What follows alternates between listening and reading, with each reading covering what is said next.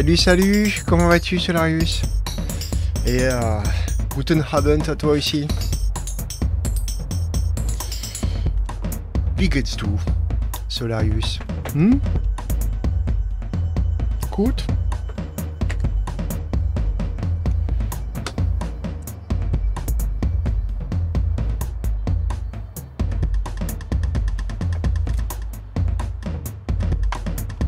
Salut Sarah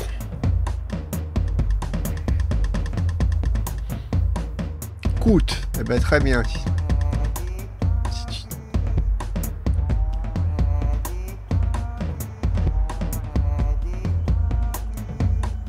Salut Suze.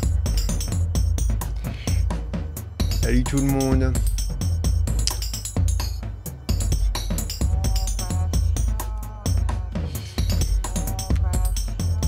Pareil pour une petite soirée spéciale nazi.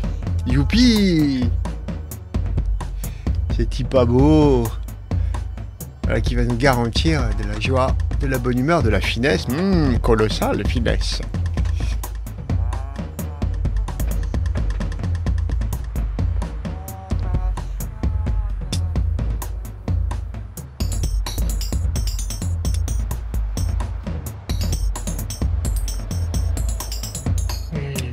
À quoi vous passez vos journées ces temps-ci, les oiseaux?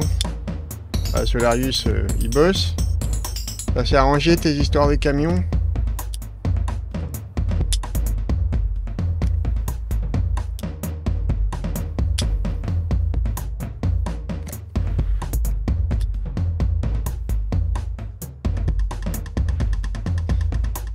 Toujours pas? Ah merde. T'as tes bottes en cuir et ton brassard pour la soirée, très bien, vous avez mis vos petites culottes de peau, super. Mettre dans l'ambiance. hein.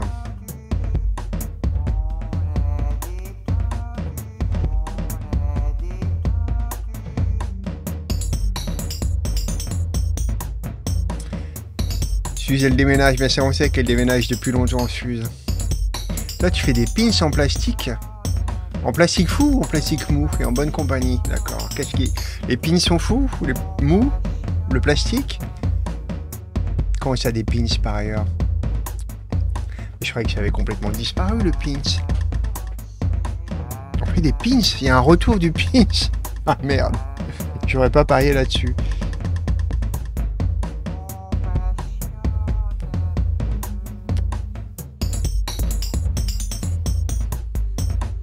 D'accord.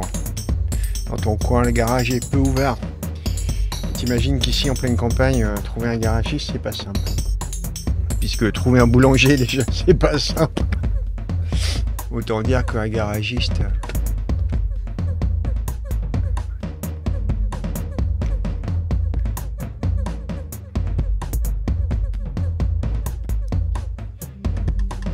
Alors le plastique il fou, il réduit, il durcit au four et hop, un pins. Bah, tu nous raconteras ça dans le Discord. Qu'est-ce que c'est que cette étrange technique? Intéressant.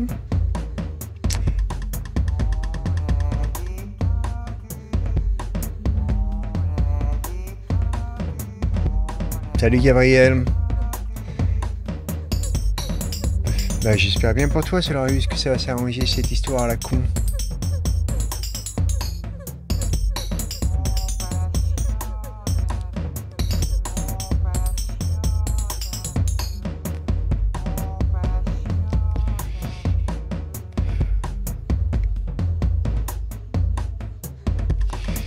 Installez-vous peinard, on a encore 4 petites minutes d'attente. Donc moi je vous ai trouvé euh, quelques petits trucs euh, à vous montrer, notamment cette merveille. Ça c'est quelque chose. On va s'ouvrir l'appétit avec des images hein, avant de se plonger dans le texte de Gunther Anders. Regardez quelques belles choses de George Gross. Les petits, ouvrir la, la session par les petits conseils lecture. Salut Raglou, comment vas-tu? Quand tu durcis, tu ne rétrécis pas. D'accord. Euh, entre matière légèrement graveleuse, Ragdo, tu es en pleine forme. Je suis pas sûr de devoir saluer cette remarque. Mon Dieu. Merci pour les coups de main, Ragdo, pour euh, précaré. Ça va donner quelque chose de bouffe, tout ça. C'est long par contre, là. J'ai demandé à Agnès de me filer un coup de patte pour la, la mise en forme euh, des, textes eux-mêmes. C'est long et chiant. PC. Zéro plaisir. Quel ennui. Quel ennui. Il y a 16 numéros. Heureusement qu'il n'y a que 16 numéros au fond.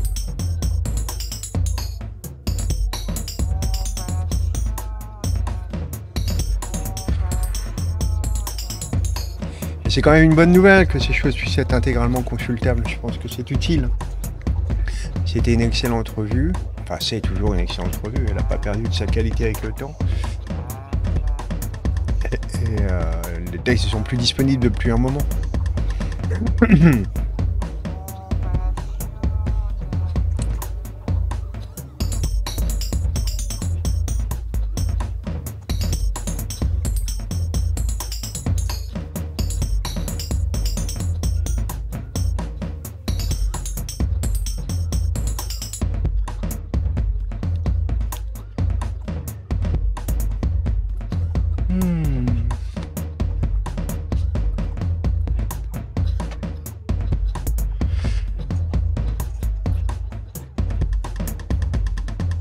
C'est notre bon samaritain technique, Solarius. C'est K2.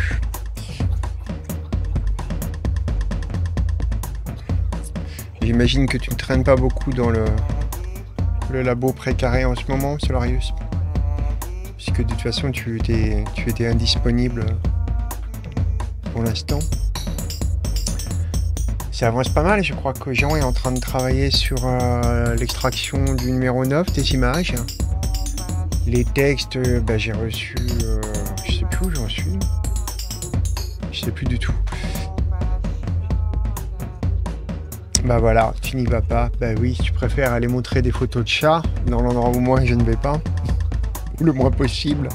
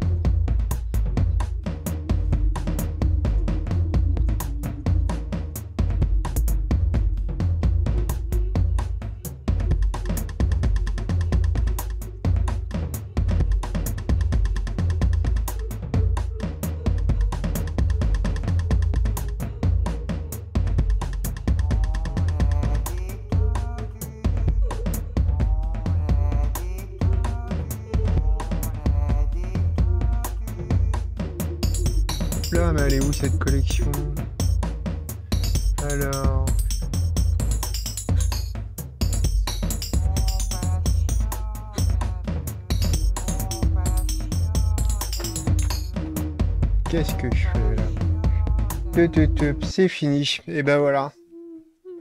Salut tout le monde. J'espère que vous allez bien. Alors, est-ce qu'il y a un petit euh, descriptif de la collection Lumière de chez Azan? Ah non, apparemment, la collection Lumière n'existe plus. Ça a été publié quand ça? Attendez, je vois pas grand-chose. Ce machin avait été publié. Allons bon, où est passé l'ours Ah C'est pas là. hein si, c'est là. Euh, en 97, ah oui, ça date. Donc, c'est possible que Azan ait euh, lâché la collection Lumière. Bon, tant pis. Donc, euh, les, les conseils lecture, ça va être compliqué. Je vais vous parler d'un livre. Vous allez sûrement le trouver en ligne. Je serais très surpris qu'on ne trouve pas ce genre de truc en occasion sur Rakuten ou dans ce genre d'endroit. En tout cas, bonsoir tout le monde. On va ouvrir euh, tranquillement ce live en regardant quelques belles images. Ça peut être pas mal. Hein. Je sais pas ce que vous en pensez. On va regarder les images euh, de Grosse, par exemple, pour un petit conseil lecture et euh, pour regarder aussi quelques-uns des aspects du travail de Grosse qu'on a laissé de côté, puisqu'on a regardé surtout de la peinture. On n'a pas tant que ça vu le, travail de dessinateur de Grosse, de dessinateur de presse. Or, on va. Salut à toi, le Pierre Boulez. On va pas mal aborder la question de la presse avec Artfield, puisque. euh, Il a copieusement participé à diverses revues du SPK du, Parti communiste allemand. Salut Tarfif, bienvenue à toi.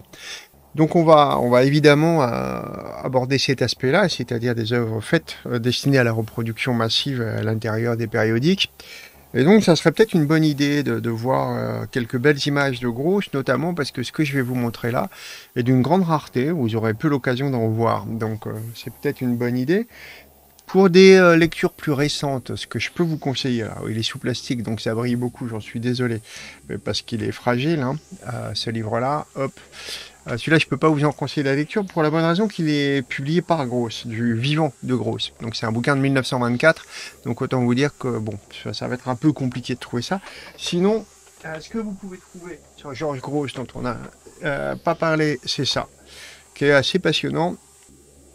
C'est un petit bouquin de Catherine Vermester publié par Alia. Donc ça, c'est trouvable, évidemment.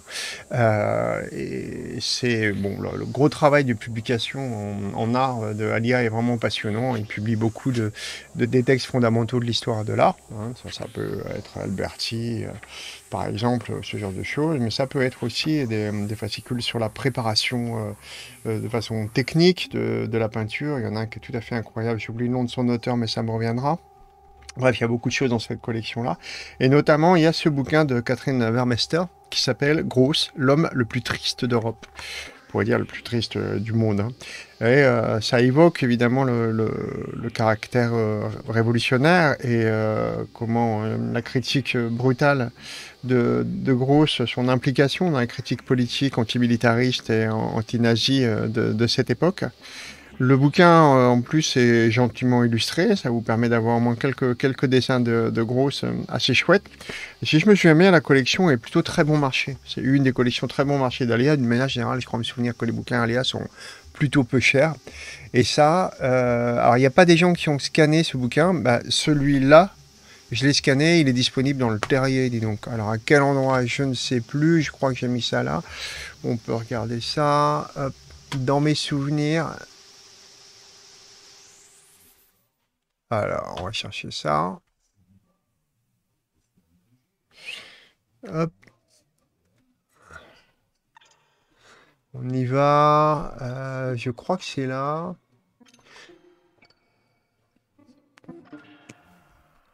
Je vérifie, hein. mais euh, je crois avoir euh, fait ça justement parce que je trouvais dommage qu'une partie de ces dessins, bon, beaucoup sont quand même disponibles ailleurs, hein, mais n'aient pas été republiés. Alors, Largier, Pyrrhic, Meunier, les introuvables. Georges Gross, c'est ça. Alors. Hop, il est là. Tout à fait. J'ai tout mis là. Regardez comme vous êtes gâtés. Euh, je vous fous ça là.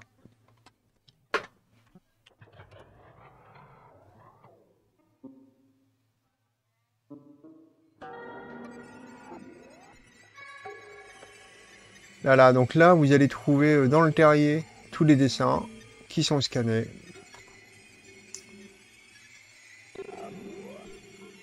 Sont consultables soit à la suite, comme ça, soit par un retour à l'index si vous voulez vous référer à une des images que vous avez appris à reconnaître en feuilleton le bazar. Donc, petit gâté, je vous ai mis ça en ligne. Alors, du coup, évidemment, ça ôte un petit peu du sel de vous montrer le bouquin, mais comme comme c'est quand même une petite euh, merveille, je, ne peux pas résister au plaisir de vous de vous le montrer.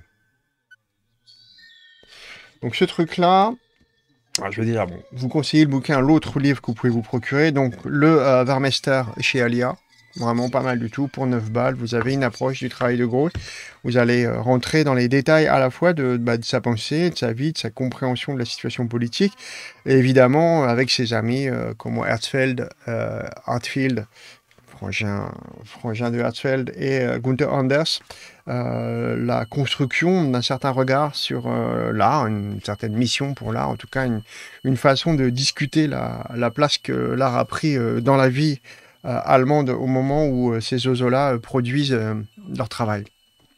Alors, des bouquins un peu chers, c'est les bouquins du Sud. Ce sera essayé, Tarfif, c'est déjà pas mal. Je ne sais pas si je dois t'encourager sur cette pente savonneuse, mais bon, après tout, si tu peux pas le faire ici, vous ferez tout une chose pareille.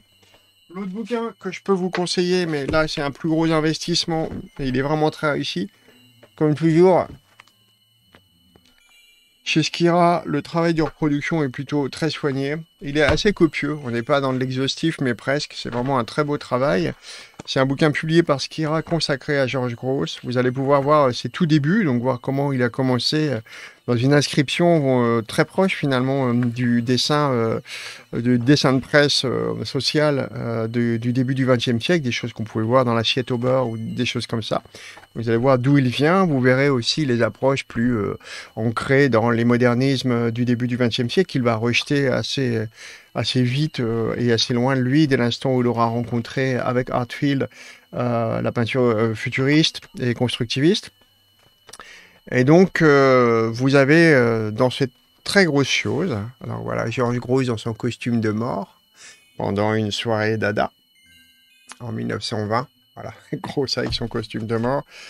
Et je ne saurais que trop vous conseiller cette petite merveille. Donc là encore, on a des reflets un peu dégueux, mais bon, tant pis très richement illustré. C'est George Gross, Berlin-New York, euh, présenté par Ralph Jens. je ne connais pas en dehors de ce livre-là l'écriture de Ralph Jens. c'est assez, euh, comment dire, factuel, mais euh, c'est très précis et assez rigoureux. Donc, pour mieux connaître le travail de Gross, difficile de trouver mieux, en français en tout cas, que le gros bouquin publié par Skira, qui valait, oula, bon, il valait 60 balles neuf, mais je pense qu'on peut se le choper en occasion assez simplement en ligne, à mon avis. Alors, le petit gros que je vais vous montrer, c'est ça. C'est un bouquin assez à part. Pourquoi je l'ai mis tant Parce que tout simplement, il a été publié euh, alors que Gros était vivant. Ça veut dire qu'il a pu en, surveiller l'édition. Euh, vous allez voir aussi un truc qu'on ne voit pas forcément souvent, c'est euh, bah, à quoi ça pouvait ressembler. Salut à toi, énorme flou. Comme c'est joli, énorme flou. Voilà un sympathique pseudonyme. Euh, donc c'est un bouquin de 1924 qui représente essentiellement des grands bourgeois allemands. Euh, donc ici vous avez de la vie d'un socialiste. Donc il faut se souvenir, mais on en reparlera à plusieurs reprises, de, euh, de l'histoire particulière des socialistes et de la social-démocratie euh, allemande de cette période, donc profondément bourgeoise et traîtresse. Donc elle vous rappellera euh, quelques personnes je dans le plus contemporain. Je dirais que les, les liens entre euh, la République de Weimar et l'avènement du nazisme sont d'une très grande proximité, d'une étroitesse. On ne peut pas mieux dire que les socialistes ont servi de marchepied au nazisme de façon très volontaire, au fond. Donc là, dans ce petit livre-là, vous avez toutes ces, représentations de euh, l'univers bourgeois, de, la violence, aussi du surplomb de classe entre bourgeois, euh, prolétaires et euh, tous les prolétaires, ici le prolétariat sexuel.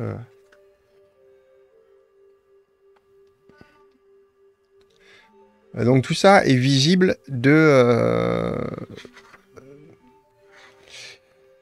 Bah écoute, oui, dans ma flou. Je ne sais pas qui tu es, mais peut-être avons eu l'occasion déjà de parler de ça, de la possibilité de se parler un peu en direct. En tout cas, ce bouquin-là est entièrement consultable dans le lien que je vous ai filé plus haut et rend assez bien compte du regard euh, acide de, Gross sur la société qui lui était contemporaine.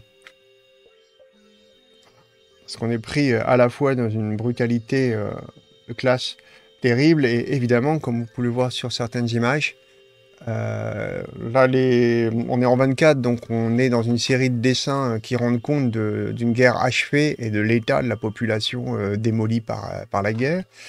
Alors le procédé d'impression, puisqu'il il en a été question la dernière fois assez régulièrement, qu'est-ce qu'on utilisait comme procédé d'impression? Pour tel et tel bouquin euh, entre les années 10 et les années 20. Là, c'est un procédé qui commence à être bien au point à ce moment-là. C'est un peu l'ancêtre de l'héliographie, si vous voulez. Je peux essayer de vous raconter un petit peu comment ça fonctionne. Euh, salut, Samoussassa. Donc la phototypie qui donne ici un, assez joli dessin aciculaire, aride, net, bien que bon, il y a quelques manques par certains endroits. Donc on, si c'est ça veut alors je sais pas si ça veut dire qu'il y avait une disparité entre les tirages et que certains tirages sont meilleurs que d'autres parce que j'ai pas été confronté à d'autres tirages du même livre. Donc là, on a des beaux noirs bien forts euh, sur certaines planches et à d'autres endroits un peu plus faibles. Alors est-ce que c'est dû à la faiblesse d'une matrice ou tout simplement à un affaiblissement au cours du tirage de certaines planches? Le procédé permettait de euh, comment permettait de faire de grands, de gros tirages. Donc là, c'est quoi la phototypie? C'est un mélange de gélatine qui est coulé sur une, plaque de verre ou sur une, plaque de métal. Donc on va laisser euh, durcir ça. Et ensuite, on ajoute une couche de gélatine qui, elle, va être bichromatée. Donc c'est une couche qui est sensibilisée en fait. Un, bichromaté, c'est un, comment, un procédé photographique non argentique, donc euh, assez différent qui a existé pour la photographie, mais qui peut servir dans ce cas de figure pour la reprographie et qui va consister à utiliser euh, de la gomme arabique mélangée à du bichromate de potassium. La gomme arabique, on l'utilise encore euh, régulièrement quand on fait par exemple euh, de l'aquarelle, ce qui est mon cas. Hein. Ça peut servir dans les mélanges. Enfin, elle a encore plein d'utilités pour toutes sortes de produits, je crois même des produits alimentaires. donc une gomme naturelle, une résine naturelle, et on mélange ça avec du bichromate de potassium parce que le bichromate de potassium a la particularité de rendre euh, la gomme insoluble une fois que celle-ci a été insolée. Ça, c'est assez intéressant. Donc, ça veut dire que si on, la lave, elle ne peut plus se dissoudre, alors que quand elle est euh, dans son état naturel, elle est euh, soluble dans l'eau. Donc, après séchage à, une température particulière qui va cristalliser d'une certaine façon tout ça, on parle donc de réticulation à ce moment-là. Ça forme comme un maillage, si vous voulez, comme des réseaux, une forme particulière de cristallisation. Et ensuite, on pose sur cette chose sensible, euh, sur cette plaque désormais sensible, un négatif sur la surface de cette gélatine. Et là, on sol, comme on le fait, euh, bah, par exemple, quand on, a un sol, une sérigraphie, ou toutes ces choses qu'on sol, ou une plaque d'alu quand on fait de l'offset, des choses comme ça. Salut Narcisse, bienvenue à toi, salut Satrape, salut les gens. Euh, donc, salut les gens qui arrivent. Donc à partir de là, on a donc cette plaque sensible euh, obtenue à partir de, gélatine bichromatée. Et euh, on sol avec un négatif. La gélatine va donc ensuite, euh, après cette insolation, pouvoir absorber ou repousser l'eau selon le degré d'exposition. Vous avez compris, le bichromate de potassium rend insoluble la gomme arabique, arabique pardon, avec insolation, et donc le négatif va laisser passer un peu, à moitié, ou toute la lumière. Donc, euh, on fait ça, on fait cette insolation.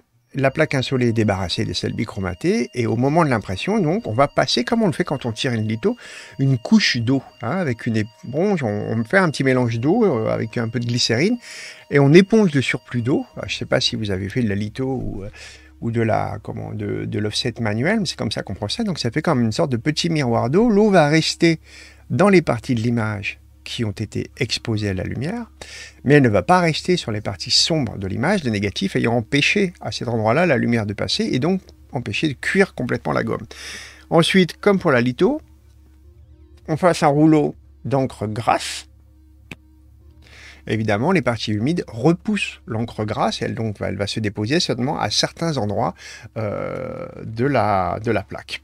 C'est le principe de la phototypie. Donc c'est en phototypie que ce bouquin a été fait. Donc je suis en train de vous montrer pour ceux et celles qui arrivent. Euh, donc je montre un bouquin de Georges Gross de 1924 hein, qui a été publié à ce moment-là en euh, comment en phototypie. Donc pas mal, pas mal de dessins euh, sur, sur la guerre, euh, plutôt sur l'après-guerre, donc l'état, l'état du monde après cette dévastation, et euh, la bourgeoisie au moment donc de la République de Weimar, euh, où nous présente donc des gros socialistes confis dans la bourgeoisie. Il y a aussi pas mal de trucs anticléricaux, parce que la, l'Allemagne de cette époque est une Allemagne de Cuveni, Cet aspect-là de, l'Allemagne, je ne sais pas s'il a, faibli par la suite, mais il était encore très prégnant euh, dans les années 20. Vous verrez dans les collages de Hartfield que pas mal, pas mal des collages font une allusion directe hein, à la présence du christianisme euh, qui arme euh, la moralisation bourgeoise. Arrive bientôt au pouvoir cet homme-là, donc on est en 1924, il ne fait qu'apparaître. Mais il sent déjà très fort. Hein. Et le bourgeois l'aime bien, malgré ses mauvaises manières. Allons, bon, un message de Satrap a déjà été supprimé. C'est quoi? Et pourquoi? Je ne sais pas. Ah oui, parce qu'il y a toute une série, je pense, de d'emotes. Donc si ça vous intéresse, si vous avez envie de consulter ce livre qui évidemment n'est pas trouvable, hein, je vous renvoie à ceci, au lien que je vous ai passé tout à l'heure, qui vous permet de les consulter tous.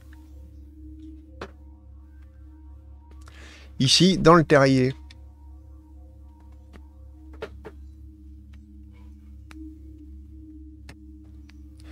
J'en ai profité euh, pour, euh, pour essayer de renforcer un petit peu les contrastes sur euh, les plaques qui avaient un peu souffert, enfin sur les tirages qui avaient un peu souffert.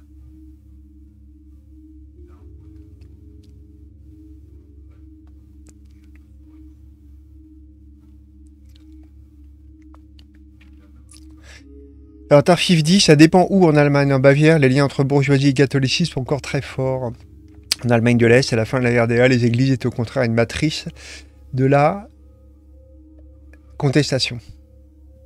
D'accord.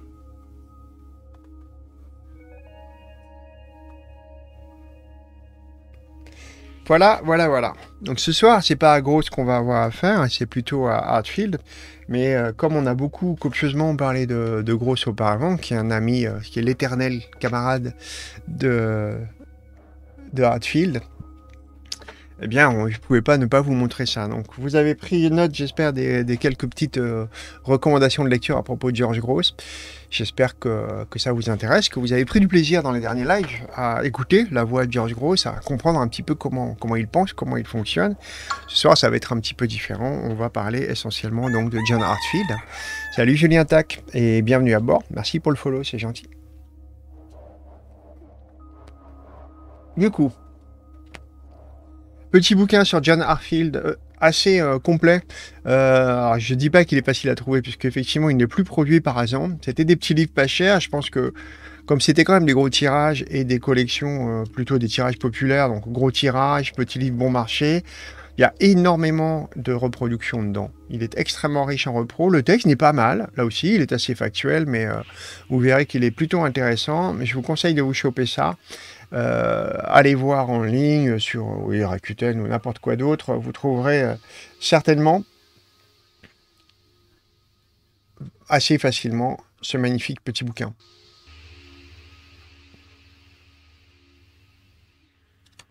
Donc là, il y a beaucoup de publications dans AIZ, hein, la revue euh, du Parti communiste, la revue communiste la plus, la plus lue,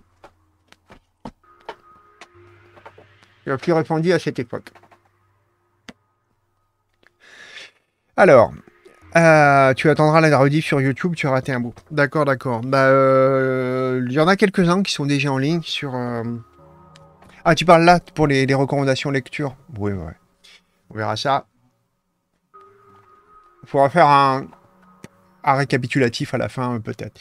Ce que je vais faire ce soir, c'est vous lire ce bouquin enfin la fin de ce livre, on a déjà lu pas mal de chapitres. On a lu les textes de Gross, euh, de Hartfield et de euh, son frangin, Hersfeld, Wieland Hersfeld. Et euh, le dernier texte est écrit par Gunther Anders.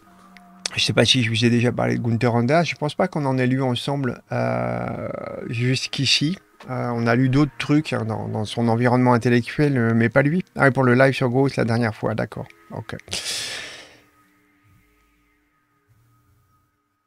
Donc Gunther Anders, euh, qui s'appelle en fait euh, Stern, ce qui veut dire, je crois, euh, l'étoile en allemand, c'est assez drôle. parce que c'est drôle parce qu'il va changer de nom, le Stern c'est aussi le nom d'un journal. Enfin bon, pour l'anecdote, on va comprendre. Son nom, Stern, est extrêmement banal. Il y a énormément de, Stern en, Allemagne. C'est un nom si courant que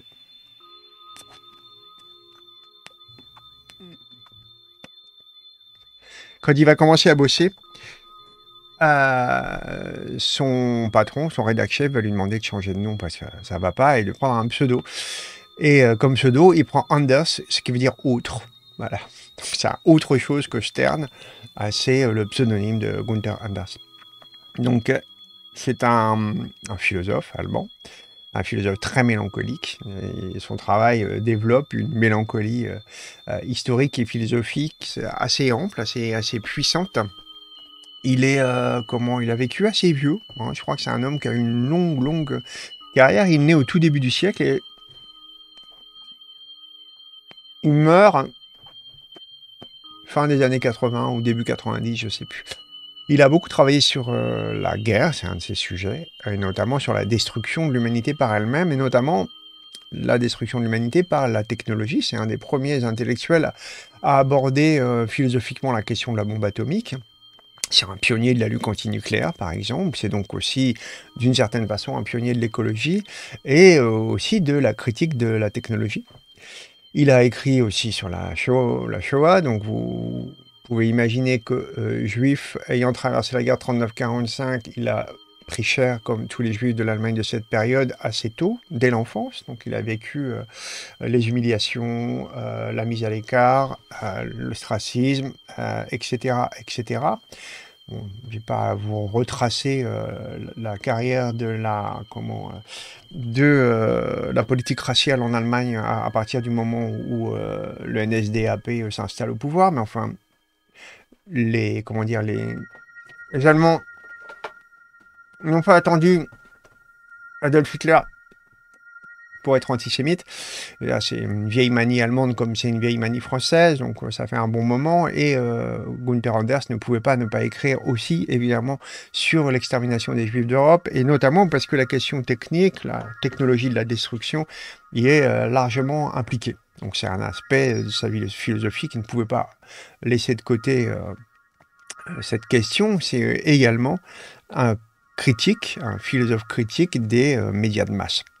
le bouquin le plus connu de Gunther Anders, dont je vous conseille vraiment la lecture, c'est L'obsolescence de l'homme. C'est vraiment un chouette bouquin.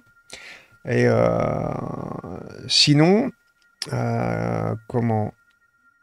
Pour le livre sur Gross, la dernière fois. La vie de Tristram Shandy rapport avec euh, entre Stern Ah, Stern Ah, c'est malin. Ça trappe que c'est drôle. Oh, douille. Euh, oui, ça trappe nous parle de Laurence Stern, un petit génie euh, anglais du 18e. On a parlé de Maurice Roche la dernière fois et de la, factualité de la page du livre. Bah, le, père de, toutes ces inventions, c'est quand même Laurence Stern. Bref, Gunther Anders.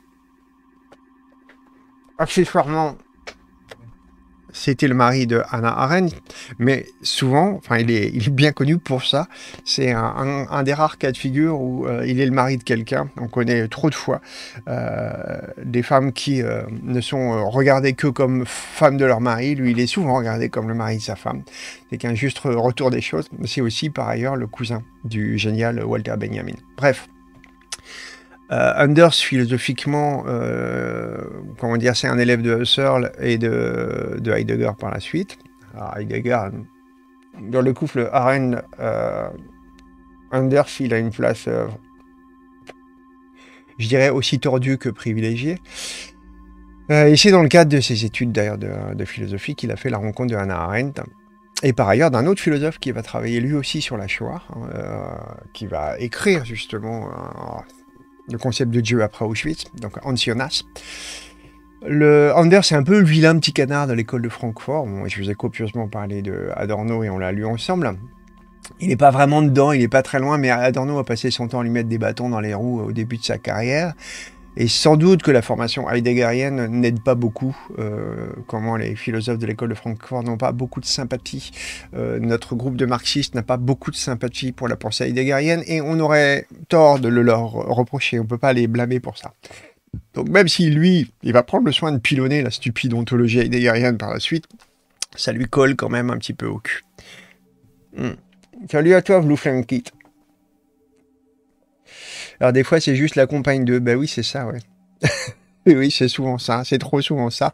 Et euh, c'est bien rare, par exemple, on parlera sans doute tout à l'heure de Anna Orr. Je vous montrerai des, quelques beaux collages de Anna Orr. Parce que comme on va parler de photomontage, certes, on va rester calé sur euh, euh, John Hartfield, puisque c'est clairement euh, le pionnier du photomontage, mais il ne bossait pas seul dans le cadre d'ADA sur ces questions de photomontage. Il a été très rapidement suivi de Raoul Haussmann et Anna Orr, la compagne de Raoul Haussmann.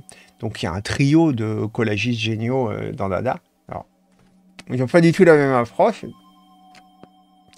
Pour dire clairement que la, le caractère euh, frontal et discursif de, des collages de Hartfield est vraiment prégnant sur la plasticité. Enfin, largement, ça passe plutôt en avant des préoccupations plastiques, même si évidemment c'est tout sauf dénué de ces questions. Hein. Le, le, travail de John Harfield, c'est une grande puissance plastique.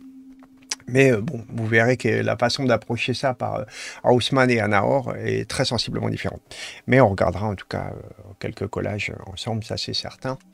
Et il me semble que Anaor, pourtant femme très importante dans le mouvement d'Ada Berlin, je distingue bien Dada Berlin de, comment de, Dada Zurich, parce qu'on a regardé ensemble, euh, et évidemment de Dada Paris, qui est le dernier succès d'année pas très intéressant, mais on a fait une émission sur Dada ensemble, et on a surtout euh, évoqué, je crois, euh, ce qui s'est passé à Zurich, et pas tant que ça à Berlin. or, il y a des lignes, c'est pas énormément différent, mais par exemple le caractère implicitement politique, directement politique de Dada Berlin, est nettement moins présent à, Zurich, qui était plus, euh, on va dire, plus anarchiste euh, dans un sens euh, de destruction totale de, comment, de la pensée bourgeoise et de l'art bourgeois, mais pas une implication militante au service du prolétariat, par exemple, qui est plus sensible, plus lisible chez les participants de Dada Berlin.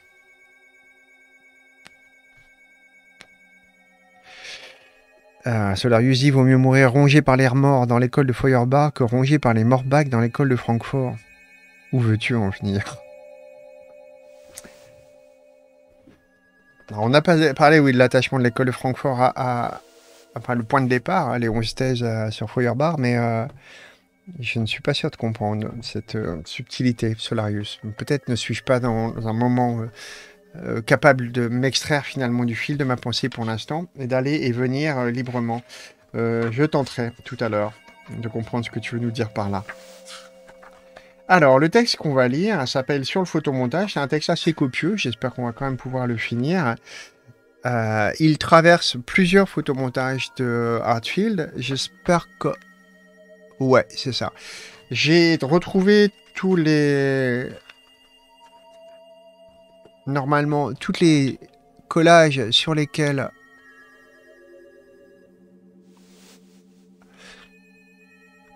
il a travaillé, le premier c'est celui-là. Voilà. Hop, je vais essayer de les présenter un petit peu dans l'ordre du bouquin. Non, merci, c'est très gentil. C'était une belle adaptation d'un calembour de des proches. D'accord, d'accord. Mais euh, qui semble compliqué à comprendre entre euh, aimer être euh, les remords dans l'école de Feuerbach que par les Morbach dans l'école de Francfort.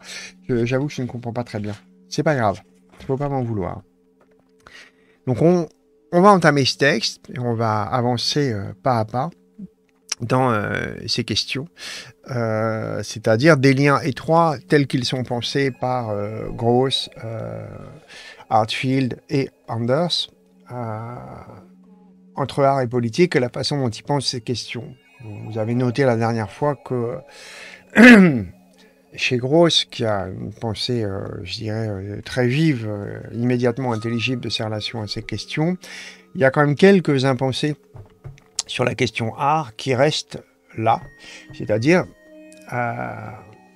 principalement le, du fait que Gross, vous avez Phil, c'est un petit peu pareil, hein, pour des raisons d'implication vitale dans euh, les antagonismes sociaux, euh, d'un seul coup soustrait, renonce finalement à une partie de la singularité euh, de l'espace art, donc des modalités particulières dont les œuvres d'art apparaissent en société et la place qu'elles prennent. Donc une part de renoncement qui, très souvent, chez Gross et chez Hartfield, produit une confusion entre euh, les buts que peut s'assigner euh, la personne politique, le sujet politique euh, pris dans les antagonismes sociaux et leur brutalité, et la place que l'art peut y prendre et qui est sensiblement différente. En tout cas, la pratique des images ou des productions plastiques au service d'un discours, c'est une chose. Je dirais que c'est une activité particulière, une activité euh, tout à fait euh, louable et intéressante, mais pour autant, il n'y a pas de moment où elle puisse être euh, consubstantialisée à la pratique de l'art. En fait, c'est juste autre chose. Et c'est cette autre chose qui n'apparaît pas grosse, simplement parce que dans le tissu des affects, c'est-à-dire l'affect d'une plateforme sociale où apparaît l'art, en l'occurrence la plateforme bourgeoise euh, de la circulation marchande des œuvres qui euh, de, son époque, donc là, début des années 20, dans l'immédiate après-guerre, eh bien, le, le, fait de superposer finalement la question art au marché de la circulation des objets art, ce qui n'est pas du tout la, même chose non plus, pousse Gross, pousse Artfield à continuer ce travail de superposition à l'intérieur même de la production, du fait de faire, du fait de faire des œuvres d'art plutôt que de faire autre chose. Salut à toi, maman. Alors, on parle de collage, ça va parler de Max Ernst. Non, on va pas du tout parler de Max Ernst, je suis désolé, euh, Blue Flame Kit. On est avant Ernst, on est avant euh, le, monde surréaliste. On est euh, en plus pas du tout dans, le, comment, dans les préoccupations plastiques, poétiques et oniriques de Ernst, aussi intéressant et chouette, hein, soit ses collages de la femme sans tête, tout ce genre de choses qui sont vraiment des, choses assez incroyables. Mais pour autant, précisément, euh, Hartfield, euh, bon là, les collages de Hartz n'existent pas encore, donc il euh, n'y a pas vraiment de raison que dans le texte qu'on lise, Hartfield et Gross s'opposent au surréalisme, qui ne naît pas encore vraiment, mais ils s'y opposeront quand le surréalisme apparaîtra, qui à leurs yeux est aussi une manifestation de la volupté bourgeoise. On en parlera tout à l'heure de ces questions des rapports euh, veut dire, entre euh, art et société de l'art établis euh, par Gross et Hartfield et qui les poussent à condamner la quasi-totalité des mouvements artistiques qui leur sont contemporains. Et au passage, également, donc, le surréalisme. Donc on ne va pas parler de ça, on va parler de... vous allez voir, on va regarder beaucoup de photomontages. D'autre part, on ne va pas parler de collage, il y a des nuances entre collage et photomontage. C'est-à-dire que le, même si Anna Or, par ailleurs, euh, va, coller dans ses photomontages des bouts d'objets, mais euh, ils, seront, ils seront les instruments d'une parole politique, d'une certaine façon, euh, féministe, mais ça, on en parlera tout à l'heure. a priori, la, différence radicale, c'est que le photomontage se pense comme fonctionnement discursif, avec une visée précise, celle de délivrer un discours c'est-à-dire, c'est un rêve d'image euh, fonctionnant finalement comme euh, une espèce de, parallèle au langage verbal, mais sous une forme plus intense, une forme immédiate, une forme tabulaire, une forme visuelle. Euh, là où le collage est une pratique plastique qui est déterminé par le geste technique de coller, c'est-à-dire de la peinture ou n'importe quoi d'autre. On s'en fout que ce soit de la photo euh, particulièrement. Dans le photomontage, le caractère photographique est essentiel au sens où chacune des photos ne peut fonctionner que sur un appel, un appel aux qualités euh, informatives du référent. Donc, par exemple, telle photographie de telle personne euh, permet de comprendre un photomontage dans un cadre politique, c'est-à-dire d'instruire le procès du sens sur la base de cette référence d'un petit élément du photomontage euh, à un objet précis de la société, un visage, euh, une structure, un élément politique, que sais-je encore. Ce n'est pas le cas du, collage, dont le but et la pratique comment est euh, essentiellement autotélique. Ça ne veut pas dire que le collage euh, soit un support de discours, mais si on doit décrire l'activité collage, c'est subalterne. C'est pas ce qui va la caractériser. Ce n'est pas du tout comme ça qu'est pensé le photomontage. Parce que je suis clair, les gens. Vous me dites. Si je ne le suis pas, euh, je redéveloppe, etc., etc. Donc on va regarder des photomontages, comme celui que nous sommes en train de regarder, et pas mal d'autres, de euh, John Hartfield, et d'autres, hein, tout à l'heure probablement. On fera une petite pause euh, Anna Or, Haussmann, euh, quand on aura envie de lever le pied là-dessus. le texte est un peu plus tardif. C'est pas un texte des années 20. Gunther Anders écrit ce texte tardivement, euh, mais enfin tardivement par rapport à la période intensive de photomontage de Hartfield, parce que Hartfield accompagne euh, toute la montée du nazisme euh, avec ses photomontages assez intensément, donc il n'attend pas cette date, là on est en 1938 en fait. Et euh, on est en 1938, ça veut dire que tout le monde s'est déjà barré le plus loin possible. Hartfield n'est déjà plus en Allemagne, il avait plutôt intérêt, il avait la Gestapo au cul. Et Gunther Anders et ses petits camarades aussi se sont tirés. pour sauver leur peau, en tant que juif intellectuel et anti-nazi. C'est plus d'ailleurs en tant qu'anti-nazi qu'autre chose qui était poursuivi John Hartfield. Hmm. Donc, si vous voulez, ce qu'on peut faire aussi rapidement, euh, qu'est-ce que je pourrais dire par rapport à cette histoire d'ailleurs de... On va essayer de poser les bases de ce qui fait difficulté. Non, on va commencer par peut-être un petit point sur qui est Hartfield. On parlera des bases de la difficulté théorique de placer les œuvres d'art euh, dans le même champ finalement que celle euh, de la pratique finalement qui est une pratique éthique du photomontage, éthique et politique, de ce que ça veut dire comme perte d'une subtilité, d'une particularité. Euh, il faut bien comprendre que ce que je vous dirais à ce sujet n'est pas du tout une condamnation de la qualité euh, euh, instrumentalisée d'un photomontage. C'est juste qu'il me semble absolument nécessaire, pour bien comprendre tout l'intérêt qu'il y a à parler d'art plutôt que d'autre chose, à bien comprendre en quoi précisément la pratique de l'art peut se soustraire je dirais, au cadre habituel de l'antagonisme politique empirique, donc euh, vécu hein, dans la matière même de la, violence sociale.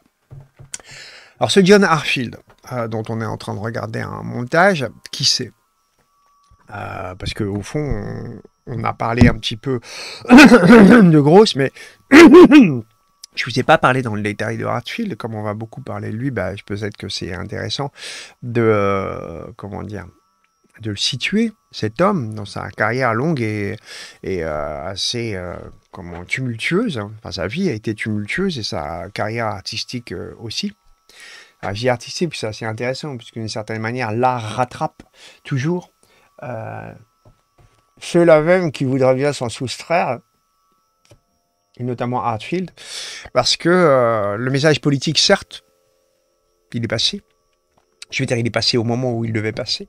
Il a eu euh, son sens euh, directif, euh, cette espèce de positivité par laquelle il affirmait la qualité d'un discours politique. Mais ce qui en est retenu, c'est la raison pour laquelle Hartfield aujourd'hui est regardé, c'est la puissance plastique, la, la, qualité poétique finalement de, euh, de l'image chez lui, sa façon de la penser, et aussi les dispositifs, euh, comment, on va pas dire techniques, mais les processus de construction de l'image qui lui appartiennent et qui ont énormément fécondé l'art euh, après son passage. Hartfield, donc ça, il n'est pas né sous le nom de John Hartfield en plein cœur de l'Allemagne. En fait, un choix de pseudonyme. Un pseudonyme, donc, euh, vous entendez bien les consonances euh, anglo-saxonnes, il y a une raison très simple à ça. Donc, lui, il s'appelle Helmut, euh, Mouti pour euh, son entourage. Helmut Herzfeld, comme son frangin. Hein, son frangin Wieland Herzfeld a juste rajouté un E à son nom de famille. John Herzfeld a été plus radical. Il était repoussé par la propagande anti-britannique euh, qui avait cours euh, en Allemagne pendant la guerre. Il y a un slogan nationaliste qui disait euh, que Dieu punisse l'Angleterre, donc il invoquait Dieu pour punir l'Angleterre de son entrée en guerre. Et donc en pleine guerre 14-18, John Hartfield décide de changer son nom en lui donnant une consonance anglaise, donc en pleine période de violente euh, militantisme anti-britannique, donc en 1916, il prend, je crois, euh, ce pseudonyme. C'est un peu comme si vous décidiez, vous, aujourd'hui, avec euh, un, bon nom bien de souche, de prendre un nom et un prénom arabe dans la France de 2024. C'est ce geste politique-là qu'il fait pour faire sécession avec son pays de trou du cul. Voilà. Mouti, oui, c'est le mot affectueux pour dire maman, c'est vrai, tardif. Bah, lui, c'est avec deux T euh, qu'il l'écrivait. Est-ce que Mouti, c'est deux T aussi Ah bah oui, si, c'est vrai. Donc c'est, euh, comme je vous le dis, c'est un pionnier euh, du photomontage, mais vraiment pionnier. Et notamment, il fait naître le photomontage dans un cadre particulier, donc le photomontage politique. Ce vieux cornichon d'Aragon parlait de Hartfield comme du prototype de l'artiste antifasciste. Euh, alors toi, tu as un nom bien de souche, tu l'as germanisé à fond. Qu'est-ce que ça dit de toi? Je sais pas ce que ça dit, Narcisse. Surtout qu'en plus, la référence fondamentale au, à Steiner, c'est pas, je dirais, c'est pas L'idée qui nous vient en tête, c'est pas le, l'allemand le plus aimable du monde, a priori. Donc oui, je ne sais pas quelle mouche t'a piqué, mais c'est trop tard quand on a choisi un pseudonyme. On doit vivre avec, croisant ma vieille expérience. Euh, mon propre pseudonyme n'est pas facile à porter aujourd'hui à 60 ans. Enfin, bientôt 60 ans, c'est un peu bizarre de, s'appeler comme ça. Mais bon, comme ça, on choisit un pseudo porté par une certaine image, et puis après, ben, on vit avec. Euh, il a un parcours assez particulier. Alors déjà, vous avez noté dans le, petit, les textes qu'on a lus euh, qu'il est très lié à son frangin. Euh, son frangin, donc Willand Herzfeld, parce qu'ils ont une destinée commune assez particulière. Ils ont été abandonnés par leurs parents, enfin, plus exactement, là, leurs parents, les deux parents, ont disparu mystérieusement alors qu'il était très jeune, il avait 8 ans quand, quand, euh, quand c'est arrivé. Et euh, la famille a été fracturée, la fratrie a été séparée, il y avait quatre mômes. lui, il est resté avec son frangin. Donc il a perdu de vue à ce moment-là ses deux frangins. Donc évidemment, ce frère, c'était euh, c'était son monde pendant de nombreuses années. Et avec son frangin, ils ont été trimballés à partir de l'âge de 8 ans pour Hartfield. Donc son frangin, je crois, a 3 ans de moins ou 4 ans de moins. Et ils ont été trimballés de famille d'accueil en, famille d'accueil.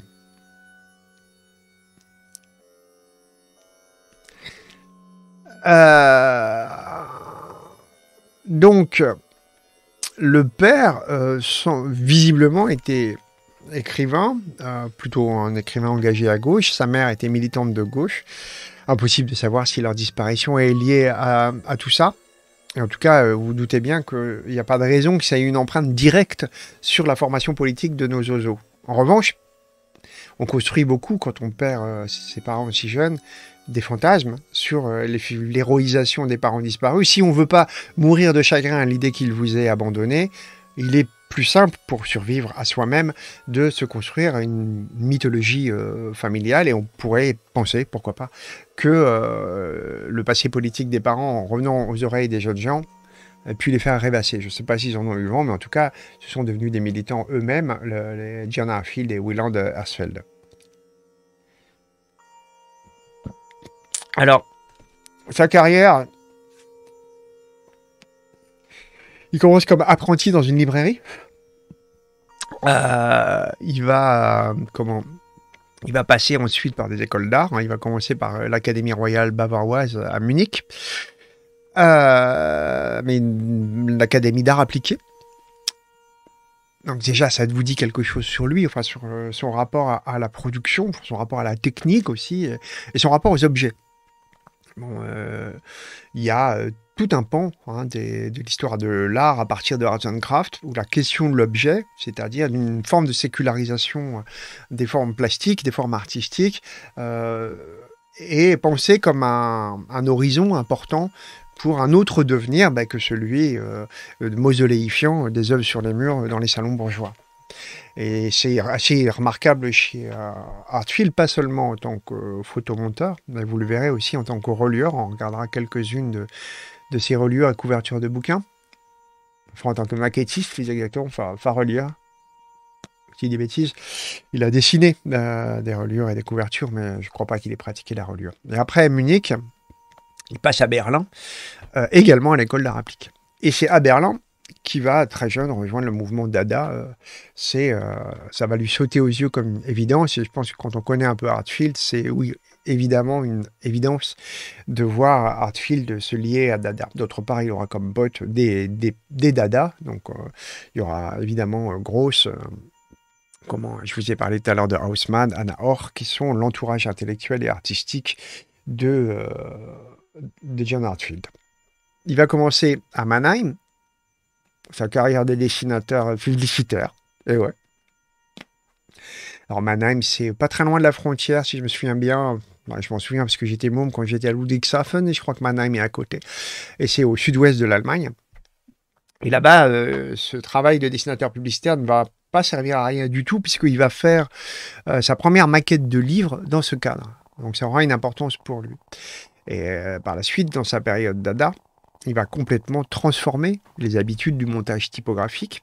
Il va soustraire le montage typo à son orthogonalité habituelle, à ce monde fait entièrement de lignes parallèles et euh, perpendiculaires, en fixant les caractères avec du plâtre euh, pour pouvoir changer les angles d'impression.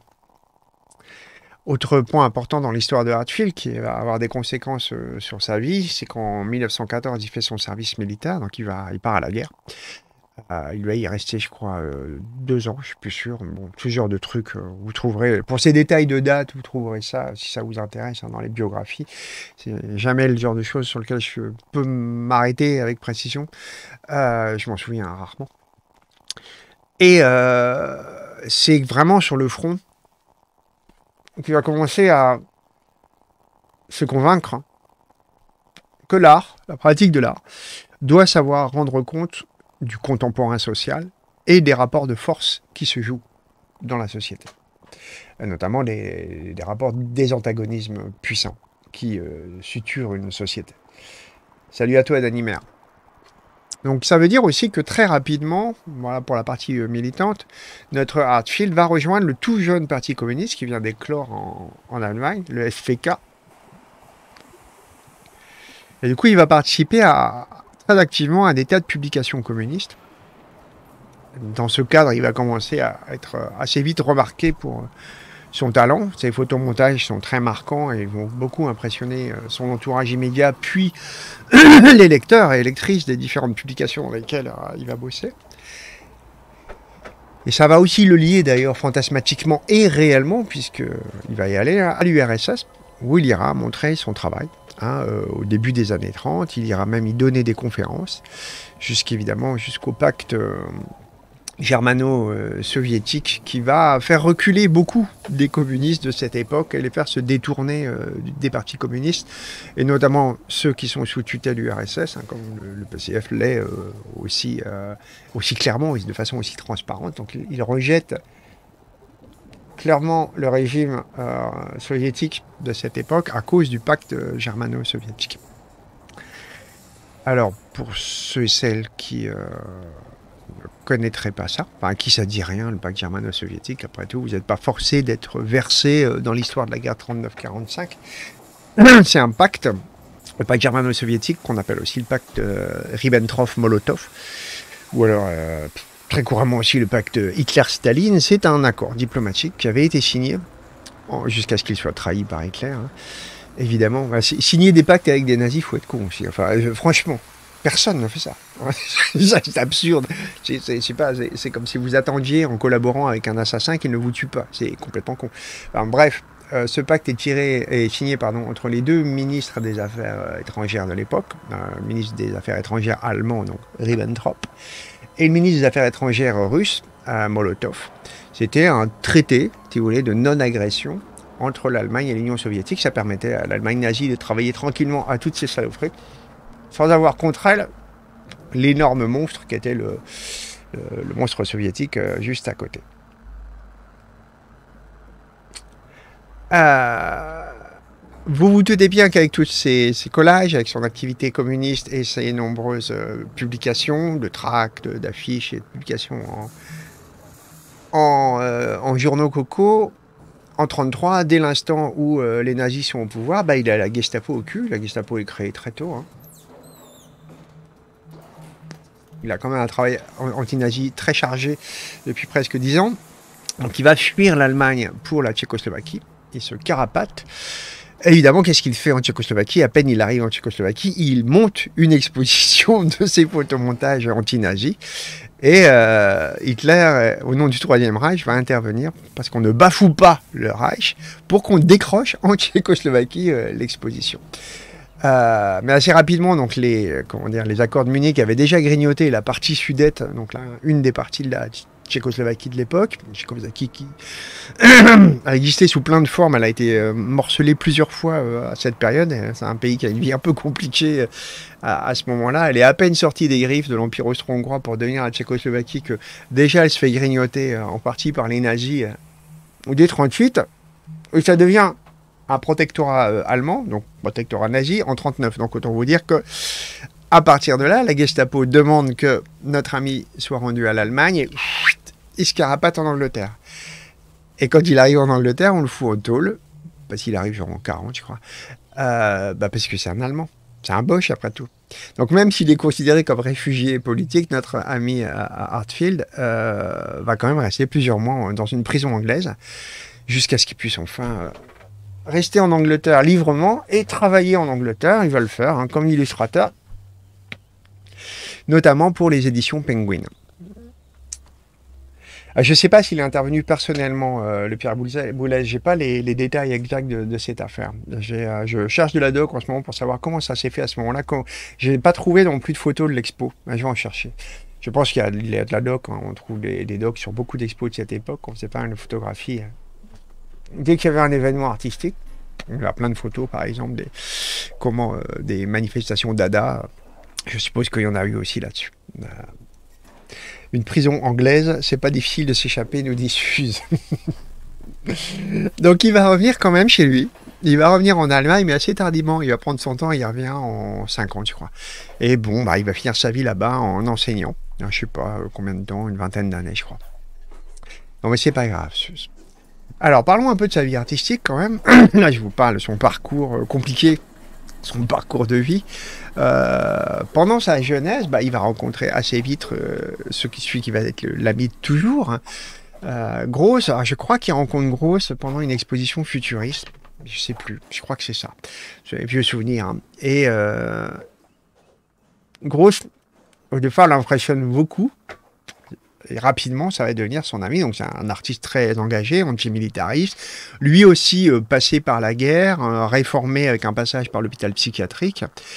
Et euh, le travail de Gross fait beaucoup douter.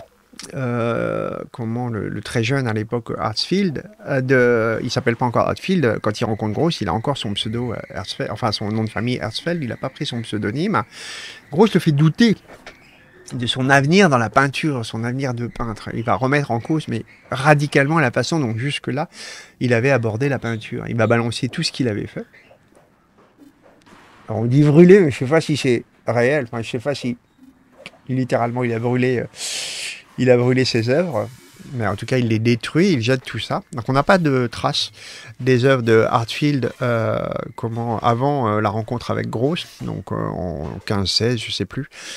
Euh, mais rapidement, hein, dès, euh, dès ce moment-là, dès rendre compte, il va commencer à penser au photomontage, à, mettre en branle son travail de photomonteur, à partir de photos de presse, euh, à partir de livres, à partir d'images publicitaires, tout ce qu'il trouve. Et puis, quand il n'a pas ce qu'il faut comme matériau, mais il fait poser des potes, on verra ça dans une expo, dans une expo, dans une un photomontage assez intéressant où vous verrez euh, trois oiseaux posés sur un signe dollar, et c'est ses potes qui avaient posé sur un escabeau pour euh, avoir la matière pour euh, ce photomontage. J'ai noté une petite phrase du frère de Wieland qui parle de Georges Gross. Alors, elle est où? Il dit quoi? Il dit Nous pensions jusque-là parce qu'ils le rencontrent ensemble, hein, les deux frangins et grosses. Nous pensions jusque-là que l'art était ce qui rendait la beauté visible et audible. Grosse nous a permis d'arrêter de voir le monde ordinaire comme étant sec, terne et ennuyant, et de commencer à le voir comme un drame dans lequel la stupidité, la grossièreté et la paresse se partageaient les rôles principaux. Je ne sais pas s'ils ont beaucoup gagné au change, hein, d'arrêter de le voir comme matière, qui rend, comme lieu d'épanouissement potentiel de la beauté. Grosse euh, décide en gros de leur exposer le monde comme un immense tas de merde. Et ces deux couillons sont très contents. Euh, d'autre part, évidemment, la question de la beauté, elle est aussi au travail dans ce qui se prépare. C'est-à-dire que précisément, c'est le statut même. Là, on, arrive euh, déjà aux difficultés techniques de penser la question art, parce qu'elle doit se penser dans sa capacité, non pas à faire émerger les beautés, la beauté, mais plutôt à la produire, c'est-à-dire à produire les cadres même de sa réappréciation. Donc à la transformer, à la changer, à la renverser même, ce qui fait que plutôt que de s'imaginer que grosse. Herzfeld et Hartfield euh, travaillent contre la beauté, travaille contre la, mise en œuvre de l'émergence euh, visible et audible de la beauté depuis l'expérience du monde. Il travaille plutôt à la pointer là où jusque-là on ne la voyait pas. Et euh, c'est pas quelque chose, je pense, hein, qui est dissible, audible et pensable par eux à ce moment-là, de, de savoir que plutôt que d'assigner la question de la beauté à une propriété de la volupté bourgeoise et donc de s'en défaire, de penser qu'en fait, leur travail va viser à arracher la question de la beauté à ce cadre de la volupté. Oui, t'as de merde, je crois que c'est comme ça qu'on doit lire grossièreté, stupidité, pareil. Alors, j'ai pas dit du tout que je n'épousais pas le diagnostic. J'épouse absolument le diagnostic grossier sur le drame. Mais bon, euh, Shakespeare euh, décrivait pas euh, tellement différemment l'histoire pleine de bruit et de fureur, après tout, racontée par un idiot. Donc, bon. lui, parlait de l'histoire. Il ne parlait pas du, du monde euh, réalisé, mais de la façon dont il était construit par l'histoire, Shakespeare. Ceci dit, je pense qu'il euh, n'en pensait pas moins euh, pour l'état du monde lui-même. Ces trois oiseaux vont devenir complètement inséparables. Et ils vont prendre à ce moment-là leur fameux pseudonyme. Alors, Gross, oui, est un pseudonyme. Son vrai nom s'écrit avec un X7, vous savez, le WS de la graphie en allemand. Et ce SZ est censé euh, angliciser son nom. En tout cas, lui, il le perçoit comme ça, et c'est pour ça qu'il fait ce choix. Donc, le genre de choix que Hartfield fait plus radicalement, en choisissant clairement un nom aux consonances anglo-saxonnes dans un pays violemment euh, anti-britannique. Ces trois-là, on va dire rapidement, absolument inséparables. Salut Mandrake. Et euh, ils affirment assez clairement à travers leur œuvre et leur pseudonyme leur détachement du nationalisme ambiant. Alors ils ont en commun un dégoût absolu de la classe bourgeoise, un dégoût absolu, euh, on a pu l'entendre dans les autres textes, des formes de l'art qui leur est contemporain. En ceci que selon eux, les formes de l'art qui leur sont contemporains euh, reposent sur une distanciation complète, selon eux, des préoccupations sociales et politiques, et donc d'une incapacité totale à rendre compte de la vie politique, des luttes sociales, des antagonismes sociaux. Euh, et sont notamment, vous l'avez entendu dans le dernier texte que j'ai lu, euh, très notamment adversaires de l'expressionnisme, qui voit comme une espèce de fétichisation des sentiments. Quoi. Et toute la sphère artistique, évidemment, c'est parce qu'il y a un, comment, un rejet simultané des termes art et artiste qui découlent de tout ça. Donc, euh, c'est tout à fait évident euh, pour ces oiseaux qui vont rejoindre Dada. Et lui, dans Dada, va devenir le monsieur photomontage. Ah, il veut pas être appelé artiste, hein, on a bien compris ça, donc c'est il est photomonteur. C'est intéressant parce qu'évidemment, il affirme par ce terme un geste technique finalement. C'est un terme qui va désidéaliser, qui va en quelque sorte prolétariser son travail, en tout cas symboliquement. Et euh, il est un patronisé euh, photomonteur de Dada, à la foire Dada de 1920, donc à Berlin. Dada, je vous en ai beaucoup parlé, hein, c'est un mouvement dévastateur, mais qui en Allemagne, à Berlin, donc euh, c'est ce qui le rend sensiblement différent, je vous l'ai dit, du Dada Zurich, qui va apporter un soutien affirmé aux luttes des travailleurs. Quelles qu'aient été les tentatives par la suite par les historiens, ou en tout cas tous ceux qui veulent faire de Dada autre chose, tenter d'en faire une espèce de plateforme du nonsense, de l'absurdité, du vacarme. C'est bien autre chose que ça. Mais bon, je pense que si vous regardez le live que j'ai consacré à Dada, euh, vous verrez que effectivement Dada c'est tout à fait autre chose que cette caricature. Et il va développer avec Haussmann, avec Raoul Haussmann, cette pratique dans le cadre Dada, puis dans les revues communistes. Donc il devient aussi pote avec Anna Orr, avec le duo donc Anna Orr et Haussmann. ce que je peux faire, c'est peut-être, puisqu'on comment euh, c'est pas forcé que vous connaissiez non plus bien le travail de Haussmann. Vous, verrez une, dont la, statue, la statue, c'est pas une statue, c'est un, collage euh, dans l'espace, un, montage d'objets dans l'espace de Haussmann. Vous allez dire, ah oui, j'ai déjà vu ça. Cette, pièce est extrêmement connue. Pour le reste, je sais pas. Alors, Oudada, il y a du rythme, il y a de la vitalité, nous dit euh, Samu Sassa. Je j'ai pas trop la ref. Est-ce que c'est pas Ayana Kamura C'est peut-être ça. Parce que je connais pas le texte, donc euh, mais je, sens que je sens qu'on va vers là. Alors, euh, je vais vous choper Haussmann. Enfin, façon de parler. Je euh, j'ai mis de côté quelques montages de Haussmann et Anna Or. Je trouve intéressant qu'on voit un petit peu ce que faisaient ces oiseaux. Voilà. Alors, on va commencer, puisque j'ai mis ça dans ce sens-là. Donc, on va commencer par Anna Or. Voilà. Qui n'est pas forcément en plus euh, aussi vu, parce que très régulièrement, comme vous le savez, euh, la tendance historique, artistique, euh, vise quand même à évincer gentiment de l'histoire comment les, les femmes. donc Anna Or, on va regarder quelques belles images. Voilà. Hop, c'est encore elle. je vais faire défiler un petit peu que je vous parle d'elle. Pratiquer en duo avec son euh, mari, euh, enfin son ami, je pense pas qu'ils étaient mariés, euh, Haussmann, qui l'a encouragé sur cette voie, il l'a soutenu tout le temps. Vous étiez ensemble à, activement pratiquer. et elle a produit une œuvre assez riche, qui elle collait, comme les autres zozos, des habituelles photos, mais aussi d'autres choses, des bouts de tissu à motifs par exemple, euh, des dentelles, des patrons de couture. Il faut bien comprendre qu'on est à cette époque plus que jamais, euh, plus qu'aujourd'hui encore, c'est vous dire, dans une société misogyne. Donc en fait, elle colle tout ce à quoi on cantonne les femmes de son époque, évidemment, au type de travaux, euh, ce qu'on appelle les ouvrages de dames, donc dentelle, tissu, etc. Bon, l'ironie triste de l'époque, évidemment, c'est que ça a conduit assez longtemps euh, à ramener ces travaux, précisément parce qu'il y a incluait ce type de matériaux, dans la sphère des ouvrages de dames.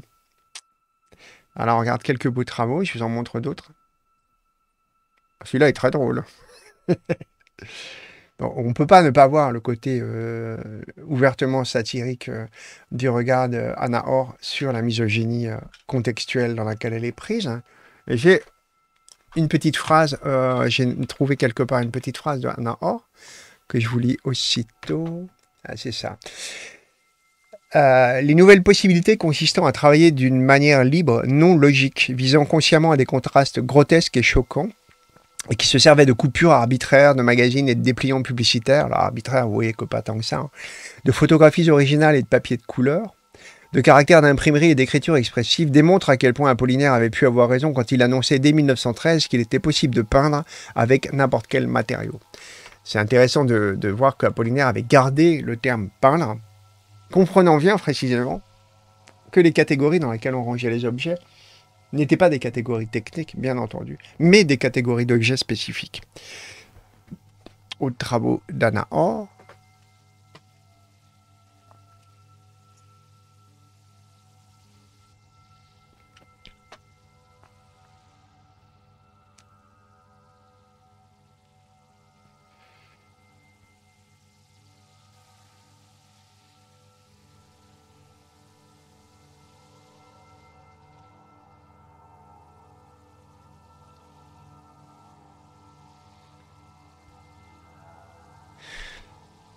Alors c'est très intéressant de regarder hein, les travaux d'Anna Orr, de Haussmann aujourd'hui et de, comment, de Hartfield, notamment parce qu'il y a un, renouveau, enfin ou un regain d'intérêt qui n'est pas proprement parler un renouveau du collagisme depuis une dizaine d'années, notamment dans le monde des fanzines. Je pense à Mécanique Copulaire, qu'on se même à dater depuis plus longtemps que ça, par ailleurs une excellente publication et je vous ai souvent euh, invité à regarder et à acquérir. Mais pour autant, ce qu'on voit dans les travaux de Anna Orr, c'est que l'essentiel du travail qui pouvait être fait pour aborder la question du montage et du collage est déjà en place et bien peu renouvelé par la plupart des choses que je peux voir aujourd'hui.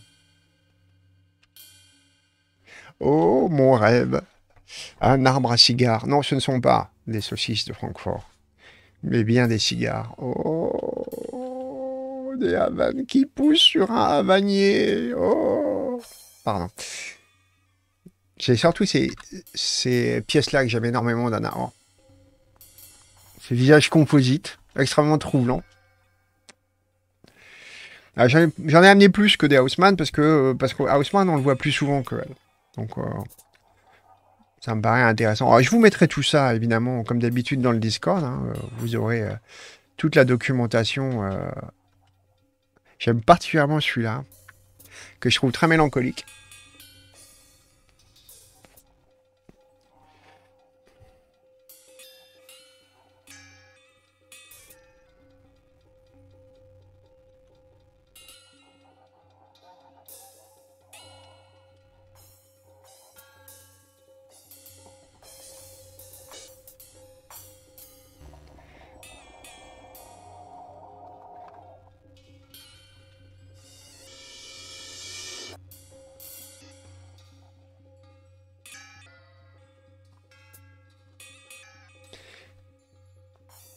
C'est vrai? Ça ne te plaît pas? Moi, je suis assez fasciné, je dois dire. J'aime beaucoup l'espèce de tumulte d'informations euh, aplanies. J'aime beaucoup le, caractère aplatissant. euh.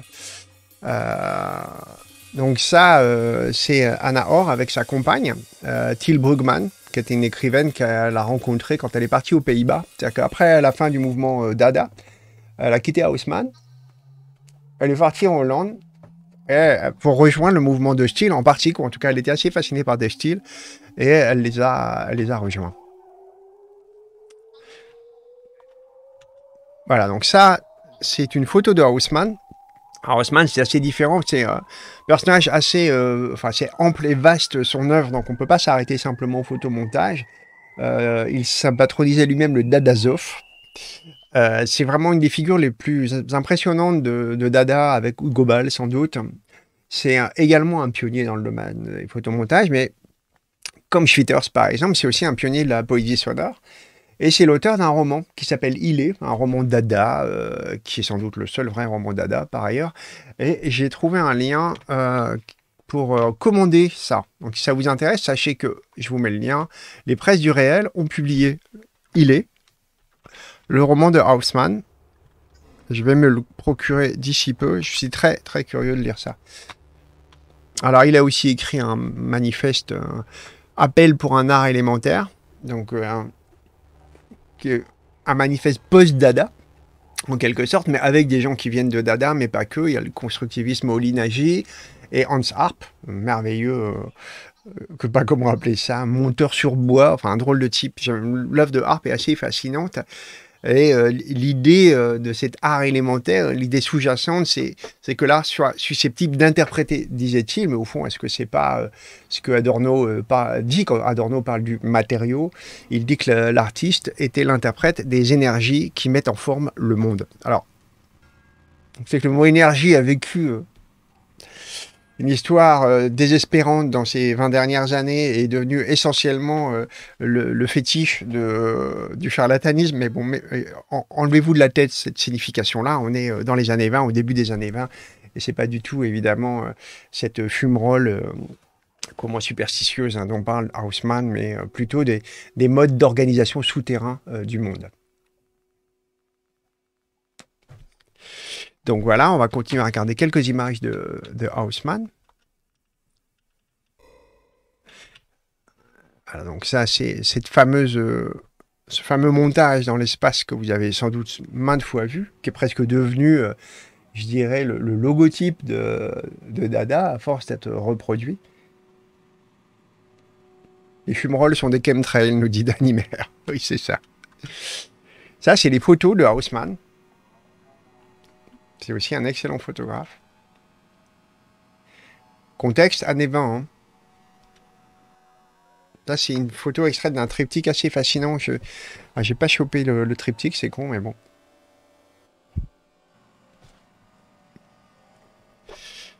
On est en 1920 Narcisse, donc euh, que les, les salles d'art plastique de collège aient, aient usé jusqu'à la corde euh, du, du montage, je n'en doute pas, mais euh, ce ne sont que des succès d'année.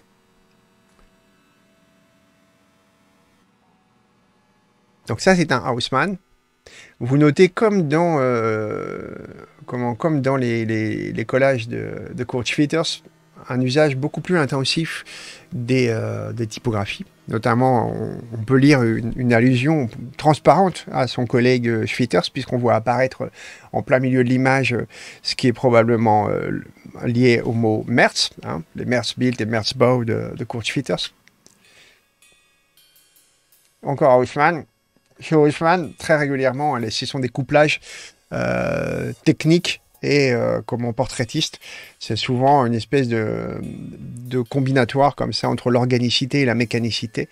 Comme, euh, je dirais, comme Gunther Anders et ses petits camarades, ces gens sont violemment critiques du fait que la technologie, promesse d'un avenir meilleur euh, par les futuristes, soit essentiellement au service de la guerre et de l'industrie.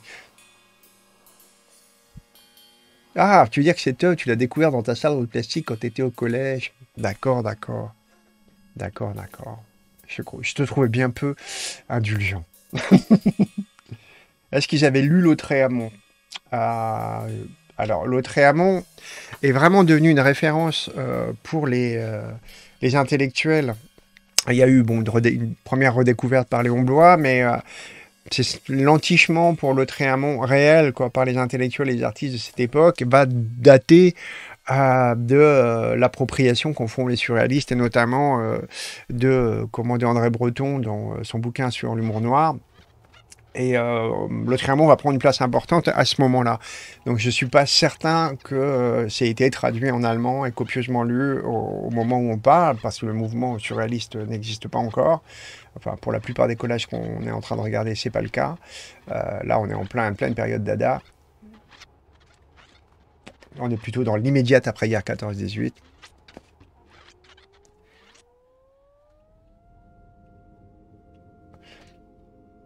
Encore un photomontage de Haussmann.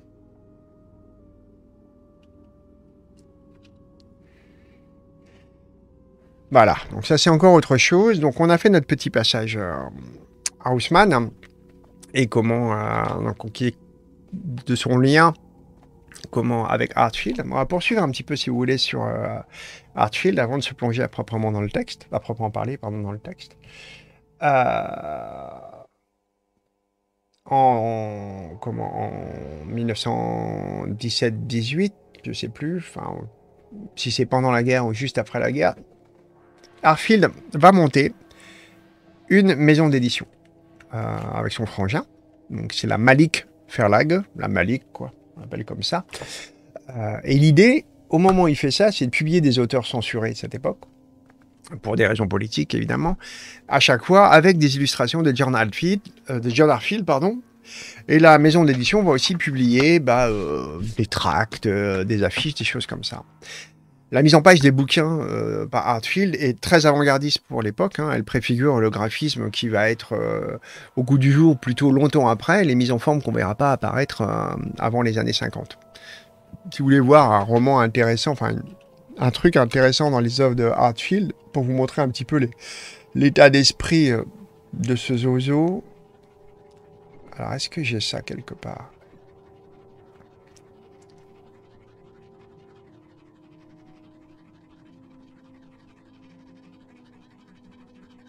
Ouais. Ça, par exemple, c'est ce truc-là, c'est une couverture de bouquin de Hartfield pour vous montrer un petit peu sa méthode de travail. Euh, c'est un truc qui a été fait pour un roman qui s'appelle Les biens les plus sacrés, d'un écrivain qui s'appelle Ehrenburg.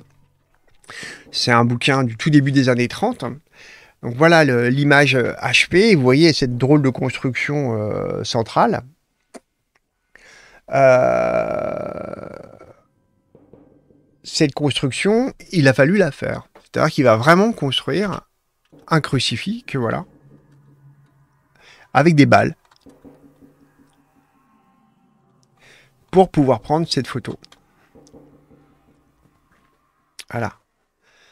Et je vous ai parlé tout à l'heure d'un truc, euh, d'une couverture de bouquin euh, où euh, trois personnages grimpent sur le 1 dollar. Et euh, il les a fait poser, il a fait poser trois potes à lui sur un montage, une espèce d'échafaudage qu'il a ensuite, euh, dont il a découpé les, euh, les, silhouettes pour les coller par la suite sur un signe de l'art dont on peut voir la peinture d'ailleurs quand on regarde d'assez près. Voilà.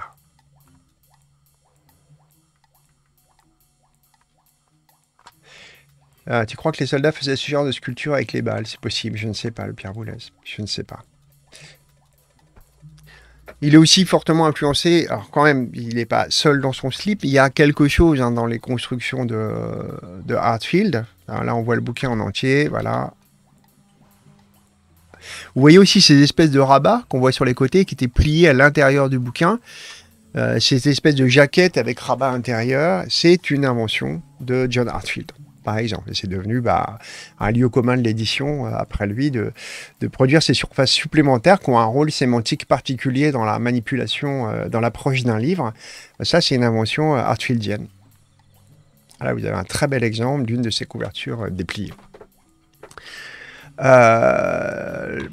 après, bah, au début des, années 30 ou à la fin des années 20, il va entamer une longue carrière de photomonteur euh, en bossant avec le AIZ. On, verra tout à l'heure quelques euh, couvertures et des illustrations pour le AIZ. Donc euh, A comme Arbeiter, le travailleur. Illustriert, illustré, Zeitung, donc le journal illustré des travailleurs. C'est un journal qui est extrêmement lu et qui est très diffusé pendant la République de Weimar. Il va publier énormément de choses dans cette revue et euh, quelque chose comme 300 photomontages, quelque chose comme ça. Et notamment, c'est une presque, à travers ces collages, on peut suivre une véritable histoire de la montée du nazisme, euh, puisqu'il commence au début de cette montée, et après, bah, jusqu'à ce qu'il se barre euh, pour planquer ses miches de la Gestapo qu'il a au cul.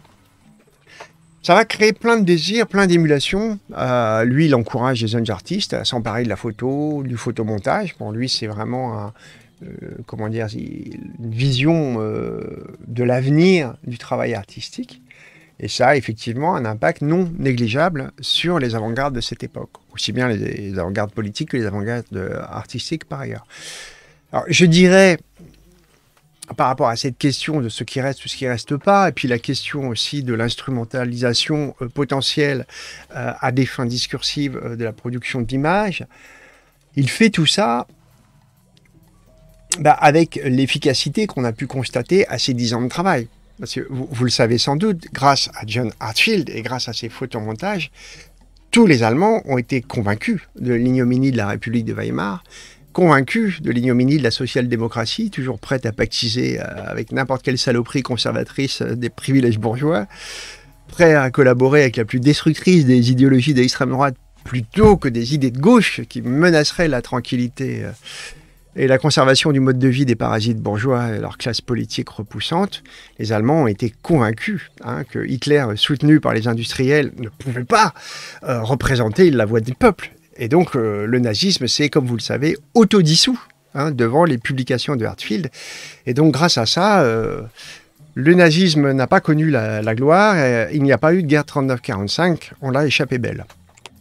Bref, euh, c'est quand même des questions qu'on doit se poser devant une telle intensité et devant euh, la force de conviction de, d'un, rapport euh, particulier, je dirais, à la sécularisation de l'art et à la notion d'efficacité de discours.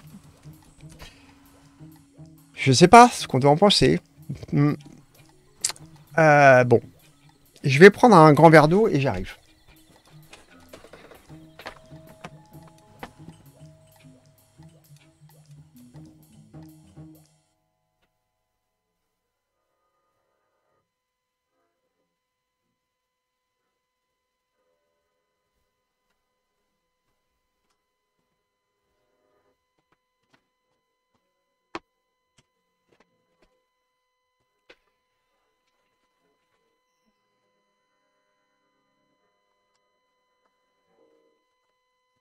Alors,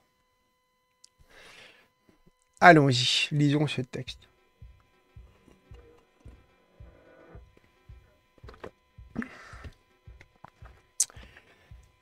Gunther Anders, donc. Alors, on va se placer d'ailleurs ah, sur euh, comment la première illustration du bouquin. C'était celle-là, je crois. Si je me souviens bien, ouais, on va peut-être démarrer là-dessus. Donc, Gunther Anders a écrit ce texte à l'occasion d'une exposition inaugurale d'une expo Artfield à New York en 1938. Voilà. 1930. Dans un pays quelconque, un enfant meurt de sous-alimentation. Pourquoi? Son père, un ouvrier, est au chômage. Pourquoi? L'usine dans laquelle il travaille est fermée. Pourquoi? Elle ne fait plus de profit. Pourquoi? Alors bon, il n'y a pas besoin qu'une usine fasse des profits hein, pour virer ses ouvriers, mais euh, c'était assez différent dans les années 20. Euh, un autre pays très éloigné de celui où l'enfant est mort fabrique le produit moins cher. Pourquoi? Là par contre, ça parle du contemporain. Il peut se permettre de payer des salaires moindres. Pourquoi? Les syndicats n'y sont pas puissants. Pourquoi?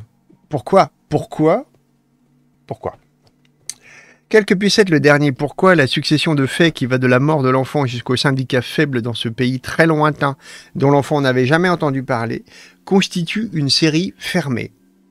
Un monde.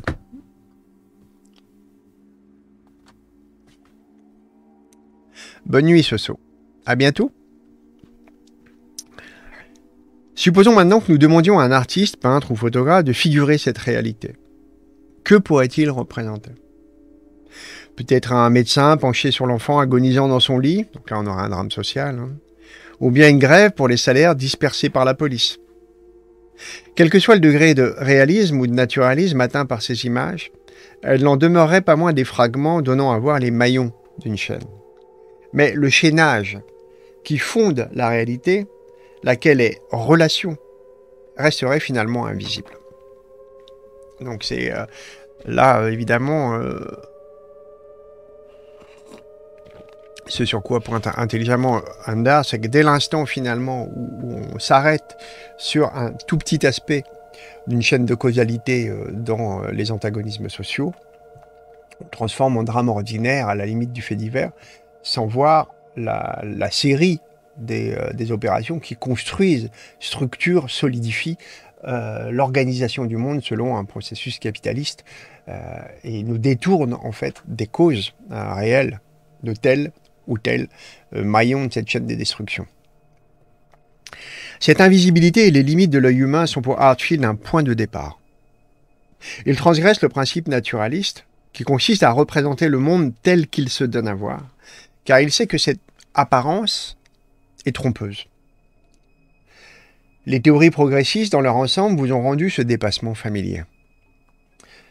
Le matérialisme progressiste ne se réclame pas de l'œil humain comme témoin, mais requiert au contraire l'outil intellectuel de la dialectique, qui lui permet de mettre en relation les fragments individuels du visible, et seul ce qui est individuel est visible.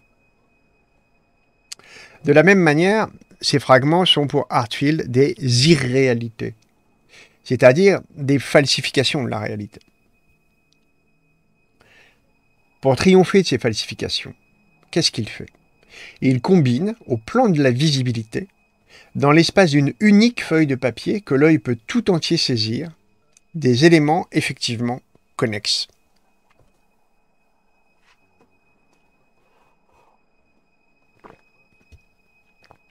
Alors, les associer de façon visible, comme il le fait ici, euh, les liens entre Hitler et l'argent, portent en eux aussi une des difficultés du évidemment, c'est celle de l'adhésion à cette chaîne de causalité, l'adhésion politique à cette chaîne de causalité. Euh, évidemment, le plus gros travail de euh, la morale bourgeoise est l'abstraction. C'est, euh, ça consiste essentiellement, base du fétichisme de la marchandise, hein, à couper complètement la présentation des objets du monde de ce dans quoi leur construction des objets manufacturés, par exemple, des productions humaines, des productions sociales, euh, à les couper de leur cause. À couper, par exemple, la marchandise de toute la chaîne de réalité prolétarienne qui les fait apparaître euh, pas loin de chez vous dans un magasin. Évidemment. C'est euh, le, maximum de ce travail est toujours fait aujourd'hui, hein, le plus que jamais d'ailleurs, pour, je crois qu'on a atteint un sommet maximum de l'abstraction. Tout est fait, notamment parce que la plupart des productions sont comment euh, polyfactuels dans leur chaîne de représentation et d'apparition, euh, ce qui va aboutir à, la fabrication euh, d'un pot de yaourt aujourd'hui, c'est une série de chaînes complètement dispersées à la surface d'un monde totalisé dans sa réalité marchande, mais complètement morcelé dans chacun de ses maillons. Donc cette abstraction, elle est rendue encore plus simple à, faire passer pour un, état euh, de fugacité des éléments, euh, euh, d'unicité, un côté monadique des choses, là où en fait ils sont la cristallisation d'un monde tout entier. Je me souviens qu'il y a 20 ans environ, en regardant les premiers travaux d'Artfield, on les taxait, eux, de falsification. C'est sans doute vrai, en un sens superficiel. Mais quand Hartfield falsifie, quand il déforme la réalité et l'organise d'une manière surprenante, il ne fait que pour lui donner sa forme réelle. Alors, la photo d'un éleveur béat caressant sa vache. Ben oui, très bien. très bon exemple d'Artfif, oui, sur le yaourt. Tout à fait. Oui, oui. On est confronté quotidiennement à, cette, à cette, comment on pourrait dire ça, au caractère inoffensif de la marchandise, son caractère souriant. Ce qui est vraiment terrible à comprendre, et c'est vraiment euh, difficile de vous expliquer ça en deux phrases, mais on va laisser cette... Euh, je vous donne l'expression, vous en faites ce que vous voulez, mais je vous invite à réfléchir à cette notion, qui est presque inadmissible quand je la formule comme ça, mais qui pour moi est une évidence. Le capitalisme est un sentimentalisme. On en reparlera. Quand il construit ce n'est pas pour s'éloigner de la réalité à la manière de ces constructeurs bien connus d'images fantasmagoriques, Bucklin, les surréalistes, etc. Mais au contraire, à seule fin de rendre le monde réel invisible pour l'œil désarmé, enfin visible. Donc rendre visible le tissu sous-jacent hein, de l'organisation des forces constructives du monde, tout ce qui travaille sous lui pour faire apparaître des faits, des faits sociaux, des faits de guerre, euh, des objets, euh, l'industrie, tout ce que vous voulez, quoi. Alors, encore plus réseauté si on pense aux matériaux, l'appareil du photographe de l'éleveur Béa et les producteurs de ces bateaux caoutchouc. Oui. Le fait qu'elle soit en caoutchouc. Longue histoire. Le caoutchouc. Alors, mais quel fragment Hartfield choisit-il pour ses compositions? Des photographies documentaires. Ainsi, il ne quitte pas définitivement le domaine de la vue au profit de simples signes, comme le ferait un statisticien illustrant une série d'interactions par une courbe graphique. Il reste dans le domaine du visible. C'est aussi toute la difficulté, je dirais, de, faire, de rendre efficace la démonstration. Là, la chaîne qui est exposée va beaucoup reposer sur ce que l'on est prêt à entendre à titre personnel, hein, individuel, euh, d'une représentation dont on n'a pas les données formelles.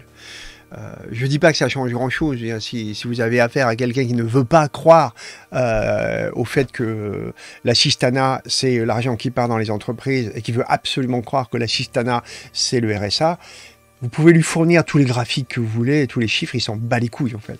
La réalité lui importe peu en fait.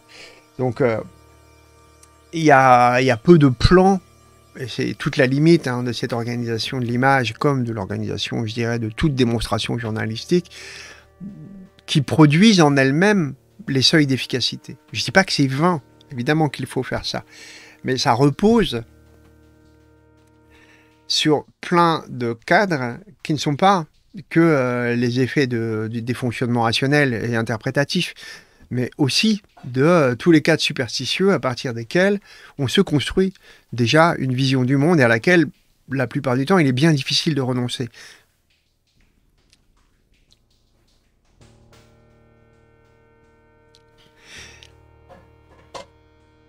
Donc il reste dans le domaine du visible. Mais en combinant ces fragments du monde invisible, il fabrique des signes. Il crée un objet qui associe vérité de la courbe scientifique et immédiateté de l'image artistique. Il confère à l'œil le large horizon de la raison, il synchronise l'œil et la raison. Avec tout de même les limites que je me sens obligé d'exposer dans ce cadre. En n'oubliant pas aussi que ce qui est dit là laisse supposer que la raison soit désirée. Euh, si vous discutez dans d'autres cadres, dans des relations que vous entretenez, par exemple, avec une critique sévère, je sais pas, disons des médecines parallèles, euh, c'est la raison comme processus elle-même qui est soumis à l'opération critique. C'est-à-dire, c'est la raison elle-même qui est indésirée. Ce qui veut dire que vous pourriez satisfaire toutes les conditions les plus opérationnelles pour exposer de façon rationnels, images, textes, tout ce que vous voulez, ça peut les rendre soupçonnables en eux-mêmes par le seul fait qu'ils reposent sur une idéologie de la raison.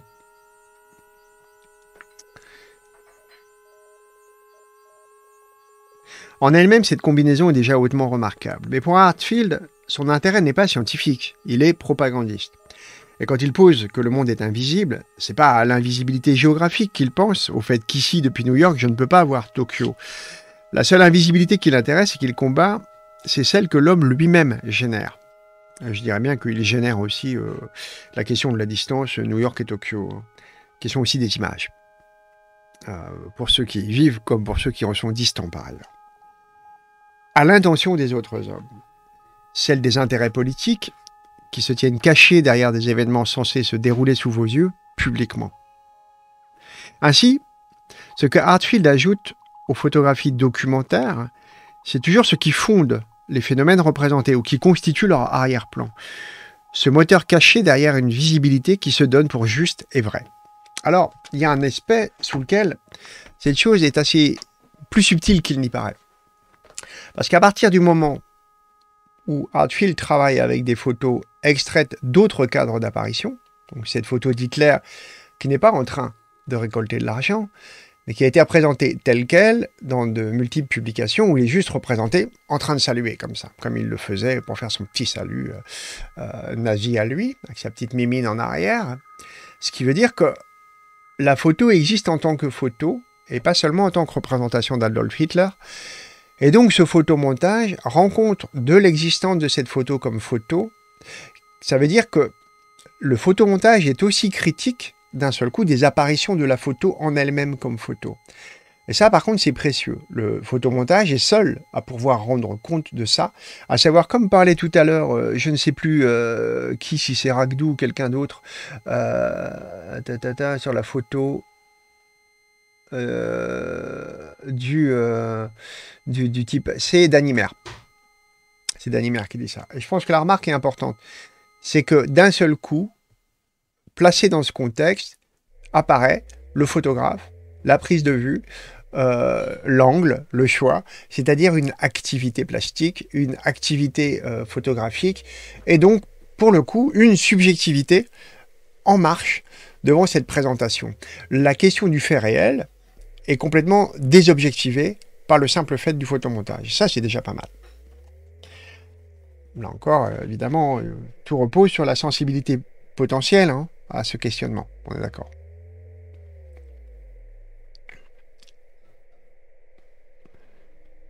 Rien d'étonnant donc à ce que le véritable ennemi d'Artfield soit le fascisme. Ce dernier, en effet, ne se contente pas du degré de visibilité ordinaire des objets de ce monde. En organisant sa propre spectacularisation, hein, clairement ce dont je vous parle dans un nombre considérable de photos d'Hitler mis en scène, hein, il s'exhibe de manière à rester invisible là où ses intérêts véritables sont en jeu.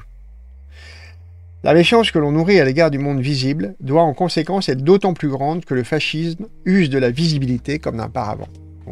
clairement, même si la question de l'auto-représentation Là, je vous renvoie, il y a un live sur la chaîne qui a été podcasté sur la chaîne YouTube qui est consacré à l'histoire de l'autoreprésentation du pouvoir. Donc ça veut dire que oui, le pouvoir a toujours très soigneusement mis en scène le paravent d'image qui fait obstacle entre ses manigances et euh, sa perception. Mais jamais un pouvoir autant que le nazisme ne se sera emparé de tous les moyens possibles pour le faire donc cinématographique, photographique, euh, romancier, littéraire, euh, feuilletoniste, discours, spectacle, Jeux olympiques, tout est bon pour le nazisme, pour produire les mécanismes d'une euh, auto-représentation, et a fortiori, parce qu'elle a beaucoup plus à cacher, le nazisme a plus à cacher que n'importe quel autre mouvement de sa réalité fondamentale. Le, RN ne met pas en place autant d'énergie pour euh, masquer le fait que ce soit une idéologie bourgeoise au service euh, du, capitalisme. Euh, il devrait pourtant, mais bon, visiblement, c'est plus nécessaire aujourd'hui puisque la pilule est avalée et il semble que ça puisse passer, qu'aujourd'hui, un, parti, un parti fasciste puisse passer pour être un parti du peuple.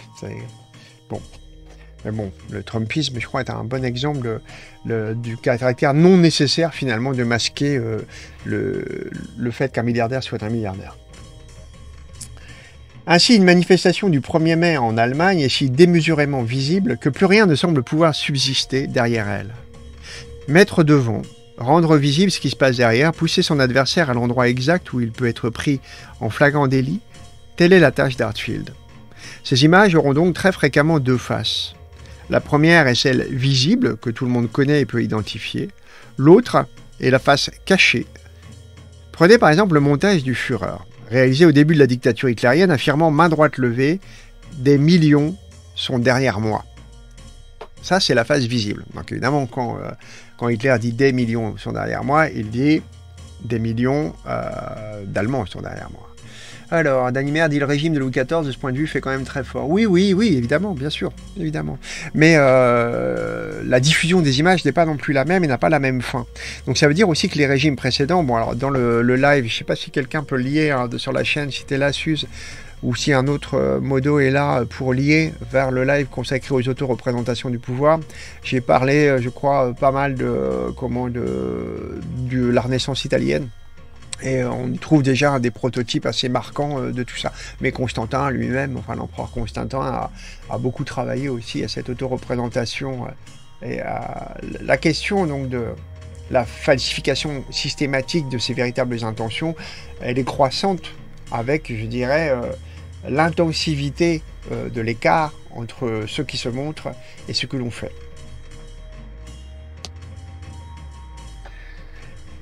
Mais à l'arrière, on voit l'homme qui donne des millions à Hitler pour mener ses actions de masse. Thyssen, donc un industriel, hein, les déposant en billets dans sa main, qui acquiert dès lors une sorte d'ambiguïté inoubliable. Car cette main qui salue est en même temps celle de l'argent stipendié. La modification effectuée par Hartfield sur le célèbre tableau de von Stuck La guerre, témoigne aussi de sa volonté constante de révéler les arrière-plans. Alors je peux vous montrer ça. Il y a un tableau célèbre de von Stuck qui va donner lieu. Alors voilà le tableau, La guerre, tableau symboliste allemand euh, que voici.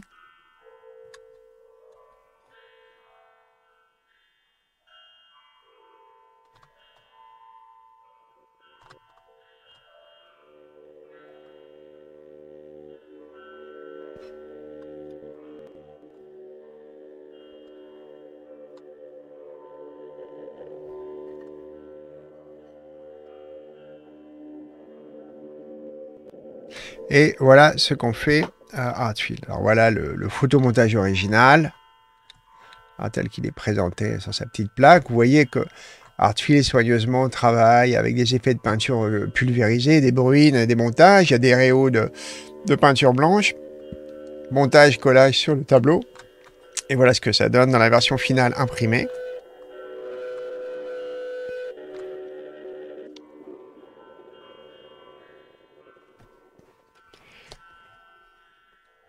Donc cette modification témoigne de sa volonté constante de révéler les arrière-plans. Comme chacun sait, la guerre y figure, un jeune homme héroïque, nu, traversant un champ de bataille à cheval. Sur la rosse, le cheval, derrière le jeune homme allégorique, Hartfield assied Hitler, aiguillonnant la guerre d'un bon coup sur la hanche. Ce qui rend cette image si intéressante, c'est qu'elle ne se contente pas de dévoiler le monde de l'ennemi. En effet, dès lors qu'Hartfield place Hitler derrière la figure idéale du jeune homme, en second cavalier, l'inanité totale de cette allégorie de von Stuck, où la guerre est tout bonnement là, chevauchant son but, sans avoir été envoyée par personne, se révèle avec une effroyable clarté. Ce qui saute aux yeux, c'est à quel point la revendication d'une intention purement artistique n'est en définitive que vacuité pathétique. Quand j'étais môme, on disait souvent ah là là, la guerre, quelle saleté. J'ai entendu ça enfant, comme si la guerre était un fléau aussi naturel que les tsunamis et les, volcans, quoi. Quelque chose qui n'avait pas vraiment de cause. Ça arrive, les gens font la guerre. Euh, donc enfant, j'avais une vision complètement idéalisée, essentialisée d'une guerre comme une fatalité à laquelle on ne pouvait pas échapper. Euh, il faut, c'est en grandissant qu'on comprend euh, de quoi les soldats sont les instruments et ce qu'ils servent réellement, euh, et notamment le, caractère euh, comment purement comment purement financier de, la guerre est l'aspect qu'on apprend en dernier, celui qu'on regarde en dernier, parce qu'il y a toute une chaîne d'antagonisme qui est longue avant que l'enfant se décide, voit derrière la guerre d'abord, en premier lieu, commence à décrypter des enjeux de pouvoir, des luttes intestines entre des nations, et ensuite, derrière les nations, des choses beaucoup plus puissantes, beaucoup plus, je dirais, ancrées dans les réalités, c'est-à-dire des intérêts économiques. Donc tout ceci demande un temps euh, d'adaptation que le photomontage euh, de Hartfield vise à rendre immédiat, si vous voulez. Alors, il n'y a pas déjà une figure de Napoléon dans l'allégorie de la guerre euh, Dans le tableau de Von Stuck? Non. Non, précisément, ce qui est reproché à ce tableau symbolique, c'est précisément de produire une, figure sans conscience, quoi. Une espèce de pure allégorie.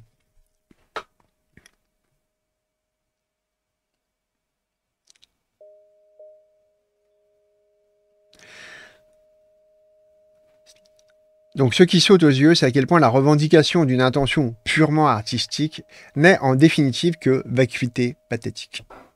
Alors, c'est à près que l'intention purement artistique, elle est mobilisée par un désir d'une allégorie sans fond.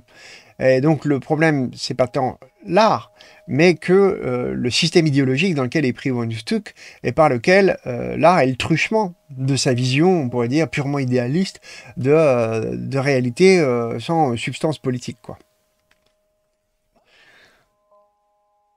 Bah, le problème, c'est la polarité elle-même. C'est ça que je pourrais vous dire. Parce que, bon, j'ai dit qu'on parlerait de ça, on peut le faire rapidement.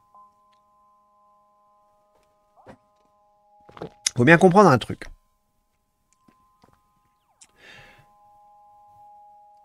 Les œuvres d'art doivent être comprises comme reflet de leur praxis propre. Alors la praxis, euh, on en a déjà parlé ensemble quand on lisait euh, Adorno, c'est comment c'est une activité au caractère immanent, hein, qui est indistincte de ce qui est sa cause, qui est indistincte de l'agent de l'activité elle-même, qui produit pas un truc en plus. Quand je parle de praxis de l'art, c'est précisément ce par quoi l'art montre l'art et autre que sa cause historique, par exemple, ou euh, sa cause technique, ou sa cause sociale. Euh, il y a un aspect praxis, et c'est ça qu'on doit comprendre. C'est ce qui se transforme et advient à l'intérieur de l'agent lui-même.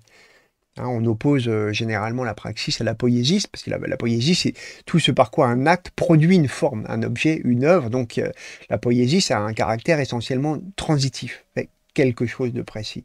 Et le caractère comment l'analyse marxiste s'est beaucoup penchée sur cette question de la praxis, notamment avec les thèses sur Feuerbach, on les évoquait tout à l'heure, parce que pour Marx, c'est absolument nécessaire de réintégrer dans la transformation du monde, pardon, et dans l'histoire, l'activité humaine elle-même en tant qu'activité objective.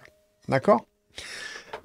Il faut comprendre ça. Les œuvres d'art, donc, comme susceptibles d'être reflets de leur praxis propre et de la crise permanente de leur euh, origine historique, ce qui fait que la catégorie art est toujours conservée sans, en étant inlassablement révolutionnaire du cadre de définition. Euh, les œuvres sont des moteurs volontaires de la crise de la définition art.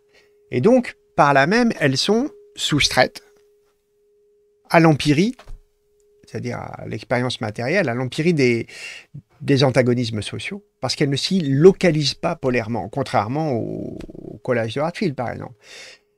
Elles ne sont pas localisées polairement dans les antagonistes, c'est-à-dire ni là, ni là, mais plutôt en tant que négativité de leur propre cause historique.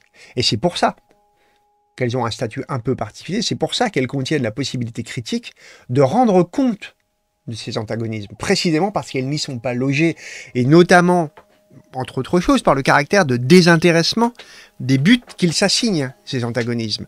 Euh, désintéressement, pas au sens euh, de Kant, euh, le désintérêt, hein, mais non, au sens dynamique de tous les buts, de quelque polarité que ce soit, de cette empirie, de cette expérience. Ah. J'espère que c'est, que c'est clair. Mais bon, c'est un truc qu'on a abordé pas mal quand on lisait Adorno, mais il faut quand même garder ça en tête pour comprendre aussi les les légères impasses qui fissurent euh, le, projet artfieldien et d'une manière générale les rapports généraux à la question d'un art militant qui, à titre personnel, me pose problème constamment. Hein. Quand, là, je viens encore de faire un dessin pour, euh, pour ces QFD, à chaque fois que j'en fais un, je me pose beaucoup de questions sur ce que je suis en train de foutre, euh, du sens de ce que je suis en train de foutre. Et précisément, quand je fais ça, très clairement, je ne me pense pas comme artiste du tout. Au moment où je produis un dessin, quelle que soit euh, l'intentionnalité plastique, quel que soit le, soin que je peux apporter à penser l'image en tant qu'image, euh, comme organisation euh, à la surface du papier de, certaines forces, qui n'ont pas besoin d'être polarisées pour produire, je dirais, leur, leur sens ou leur raison d'être, pour autant, c'est tellement inféodé à la nécessité d'un dire, d'un dire politique, que, euh, d'une certaine manière, c'est terrible à dire, hein, mais il n'existe pas de propagande de gauche, selon moi. C'est-à-dire que si vous assignez à un objet une finalité et un sens, vous produisez sur celui-ci une clôture qui garantit, qui veut garantir sa valeur, sa valeur de sens, sa valeur de signe. Et de mon point de vue, c'est une manière de transaction idéale qui est une pure transaction libérale je ne peux pas considérer l'activité propagandaire autrement comme une activité fondamentalement capitaliste. Voilà. Je sens que je vais me faire beaucoup d'amis parmi mes camarades dessinateurs de presse. Mais c'est ainsi. Alors, il y en a un autre, là, c'est l'image de Rome. Alors, on va voir ça ensemble. Elle est où? C'est celle-là. Alors, ça, c'est euh, Rome, donc, c'était euh, le, chef des SA. Saluato Akirakir. Donc, les, les sections euh, dirigées par lui incarnaient le rêve d'une révolution euh, fasciste. une révolution populaire, avec tout ce que ça peut vouloir dire d'ambigu, que vous pouvez entendre souvent dans le discours de euh, certaines franges euh, néo-païennes euh, du nazisme contemporain en France, qui sont tout à fait prêts, la plupart du temps, à se ranger bah, du côté du RN ou d'autres pouvoirs fascistes, au, nom qu'ils en seraient les instruments normaux, logiques, comment on pourrait dire, fraternels, d'un partage idéologique, sans bien percevoir euh, où, conduit cet illusionnisme profond quand on bosse avec des bourgeois. Rome, donc évidemment, et CSA ont été assassinés par le pouvoir dès qu'ils n'ont plus servi à rien et que Rome a représenté une quelconque menace pour euh, la centralité du pouvoir éclairien. D'accord? Euh, donc l'image de Rome qu'on est en train de regarder, abattue le 30 juin 34, fournit un autre exemple grandiose de cette polysémie qui, une nouvelle fois, confère un double sens au salut fasciste. La façon dont Hartfield fait ici se confondre la main du mourant et la main qui salue, de sorte que chacun puisse y lire, ce salut peut aussi me faire mordre la poussière. Tout ça est inoubliable. C'est-à-dire que fondamentalement, tout fascisme au pouvoir ne peut pas être autre, ne peut pas reposer sur autre chose qu'une profonde traîtrise du peuple. Voilà, que ce soit clair. Ça n'existe pas une promesse fasciste populaire. Quoi, que prétende toute, toute espèce de bavardage du RN actuel, c'est une parfaite absurdité. Oui, c'est ça. Rome avait conservé son espèce d'idéalisme et qu'on peut retrouver hein, chez Tartin Zozo, parfaitement excité du bulbe contemporain, euh, et qui, sont là depuis toujours sur le, territoire de l'action, euh, qui sont ivres d'une espèce de, oui, d'image nationaliste, révolutionnaire. Euh. mais leur, leur avenir, c'est juste ce qu'on est en train de regarder. Il n'y a aucune raison qu'il en soit autrement. Mais d'une manière générale, tout ce qui nous arrive en ce moment, c'est-à-dire le, fait que nous soyons en pleine euh, République de Weimar, que les socialistes soient en train de nous rejouer euh, rigoureusement ce qui se passe. Enfin bon, la différence, c'est que au lieu euh, de faire abattre comment Rosalie Luxembourg, les, actuels équivalents de la social-démocratie, donc des, socialistes, n'ont pas tiré à, à balle sur Mélenchon et sur la LFI, mais leur pratique de la disqualification c'est une, pratique d'assassinat permanent euh, de, tout ce qui pourrait mettre en péril finalement l'espèce de stabilité écœurante du rêve bourgeois de la social-démocratie. C'est drôle parce qu'ils sont réellement en train de nous rejouer intégralement la scène. C'est pas très encourageant, parce qu'on connaît la suite de l'histoire. Tout le monde s'en va les couilles.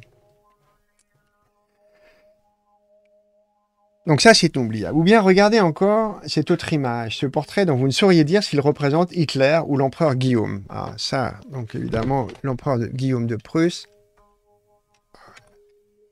c'est un, collage très célèbre de Hartfield. C'est celui-là. Ah, Sa Majesté Hitler, que voici. Au sein duquel les deux physionomies sont amenées à se confondre d'une manière inexplicable. Comparez-la à un simple portrait de Hitler. Il pourrait être effrayant, enthousiasmant, mais en fait, il ne dira rien. L'image d'Hartfield, quant à elle, dit Hitler est l'empereur Guillaume. Déclaration qui, au vu de l'ost politique impérialiste inaugurée par l'Allemagne, est encore plus vraie qu'à l'époque où Hartfield montra l'image. Vous objecterez qu'on n'a plus à faire une image, mais un jugement. Le mais est de trop. En fait, Hartfield est le premier à présenter des jugements et pas simplement de seuls objets. Alors, c'est vrai et faux. Je dirais, d'une façon générale, quelle que soit la nature du procès dont on parle, salut Arcani, toute image est un jugement, et toute partie d'un image, de l'image est un jugement, ou comme le disait autrement Souriau, toute touche de peinture est un jugement. Après, les procès sont différents, mais euh, il n'y a pas de moment, en fait, où, euh, dans l'histoire de l'art, les images échappent. Ce n'est pas des choses, euh, comment les images ne sont pas transparentes à elles-mêmes dans une espèce d'inanité à, toucher euh, le caractère moral de leur affirmation. Au contraire, elles sont prises dans ce caractère moral pour exister en tant qu'image. Après, toutes n'affirment pas, je dirais, la même sévérité de jugement ou n'ont pas les mêmes objets pour leur éventuelle sévérité. Une image ordinaire, paysage ou portrait n'est ni vraie ni fausse et se tient fièrement mais craintivement à distance de la question, décisive pour l'homme, de la vérité. Ça, je ne le crois pas. Un paysage impressionniste est aussi un jugement. C'est un jugement qui peut paraître anodin au regard de la menace du Troisième Reich, mais un jugement sur le rapport euh, des êtres humains à la, comment dire, au regard, à la contemplation, à l'idée qu'il se fait de la nature, à la peinture elle-même, comme, comme, euh, corps historique euh, des, relations entre la, la, représentation et sa nécessité, ce sont aussi des jugements. Et euh, ce sont des procès constants, notamment à cause de cette fondamentalité critique des opérations historiques de la peinture et de tous les arts. Alors, Danimer nous dit On comprend plus aisément que dans les premières décennies de la photographie, on ait pensé que ce procès détachait des précédents par sa capacité à ne pas juger. Oui, oui, sans doute, mais. Comment dire? Mais je comprends. Comme tu le dis, Danimer, va se développer très rapidement et pour longtemps hein, avec la photographie à cause de son caractère technique et de l'idée qui n'est qu'une idée hein, de la prise de vue. Je dirais qu'elle a toujours été mensongère, elle l'était énormément euh, à, sa jeunesse puisque pour faire une prise de vue il fallait geler le monde pour que celui-ci puisse se laisser photographier. Euh, l'idée d'y inscrire une espèce de naturalité seconde, de supposer qu'elle avait un, un rapport, une relation plus étroite avec la réalité que les images qui les précédaient, à savoir les gravures, les dessins et la peinture, a, longtemps euh, eu lieu alors que la photographie n'a jamais cessé d'être euh, l'instrument, elle aussi, d'un jugement et de falsification et de tout ce que vous voulez. Il n'en a jamais été autrement. Mais oui, on peut comprendre que, ce discours-là, que cette chanson-là soit mieux passée au moment où elle apparaît. Donc, euh, je crois que c'est dans le deuxième quart du 19e, si je me souviens bien. Euh, et jusqu'à assez. Euh, on l'entend assez régulièrement encore. Le rapport à la photographie est, est souvent un rapport qui rêve une fois de plus. C'est un rapport fétichiste en ce sens que c'est un rapport qui prétend avoir touché à l'abstraction de la distance avoir résolu la question de la distance. Mais en fait, elle ne fait que la fétichiser encore plus. La question de la distance à ce stade devient une espèce juste d'absence de cérémonie de la représentation qui laisse croire que fondamentalement, alors, il n'y a pas d'interface. Là, il faudrait un autre live pour passer à, cette question critique de la photographie, surtout aujourd'hui. Euh, je pense que c'est très intéressant de voir quel est le rôle de la photographie, par exemple, dans les réseaux sociaux, et à quelle place euh, on, assigne la question de, justement de ce désinterfaçage, de cette prétendue immédiateté, et euh, de l'idée qu'elle serait sans jugement. Elle serait immédiate en tout cas. Quand il combine ou compose, c'est la seule fin d'exposer sous forme de jugement ce qui est effectivement solidaire. Et lorsqu'il invente, il le fait pour découvrir et faire partager sa découverte. Cette formule, inventée pour découvrir, est bien la plus brève susceptible de qualifier Hartfield.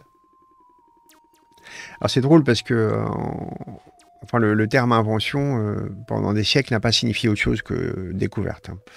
Hein, on parle de l'invention de la Sainte Croix pour sa découverte, de l'invention d'une relique, euh, etc. Mais il y en a une autre. En effet, Hatfield ne se contente pas de rendre visible ce qui existe en réalité, quoique d'une manière invisible. Il traduit aussi les mensonges, les phrases et les métaphores en images, pour les mener ad absurdum, donc jusqu'à l'absurde, grâce à une matérialisation saturée d'évidence.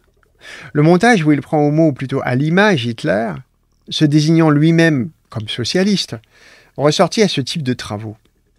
Il s'agit dans une certaine mesure d'un double montage, puisqu'on y voit Goebbels lui-même monter une barbe de Karl Marx sur le Führer. Ah oui, ça, ça c'est très drôle. La barbe de Karl Marx. Voilà. Alors voilà le photomontage original. Donc, euh, on voit bien l'endroit où Hartfield fait euh, ses retouches, ses passages de blanc,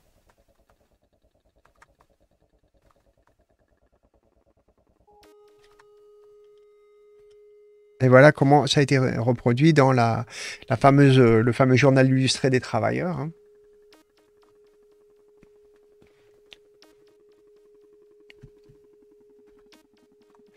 Arbeiter Illustratiert Zeitung.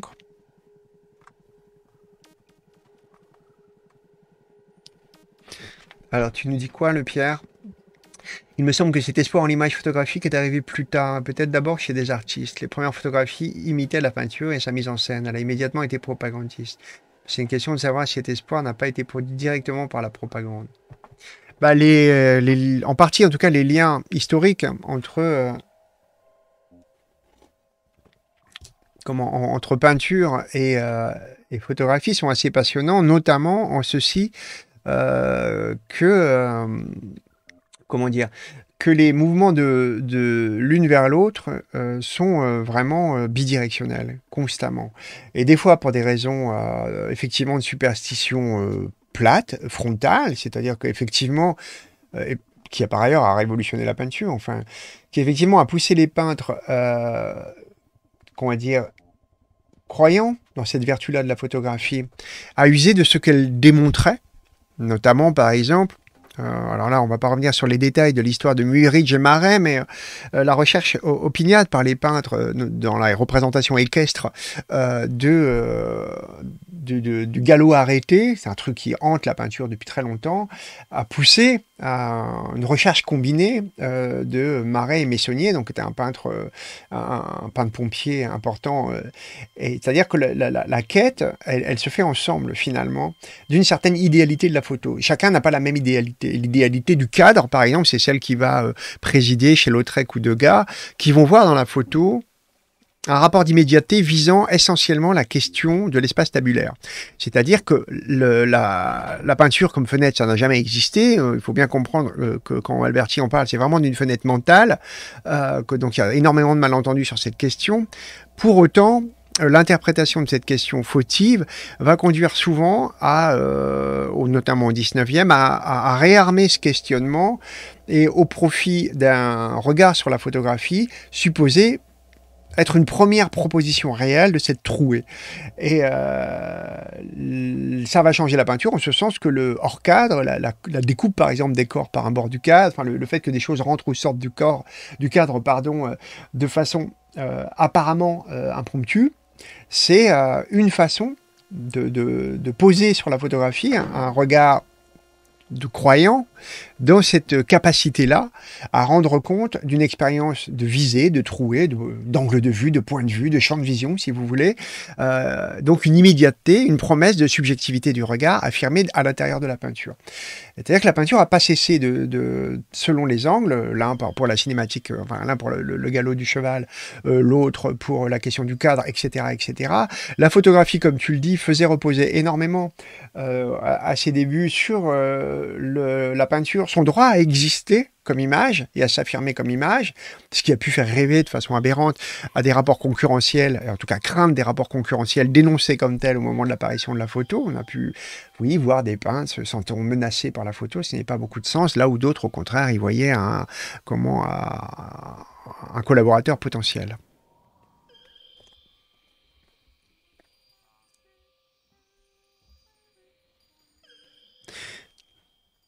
Alors,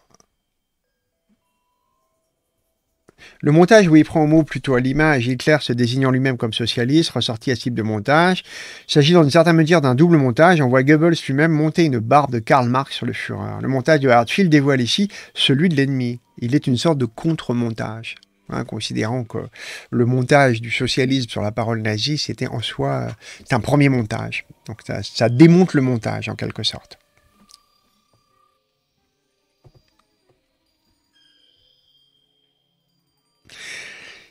C'est à ce dernier groupe qu'appartient aussi l'une des rares pièces où Hartfield mêle de l'humour à sa colère.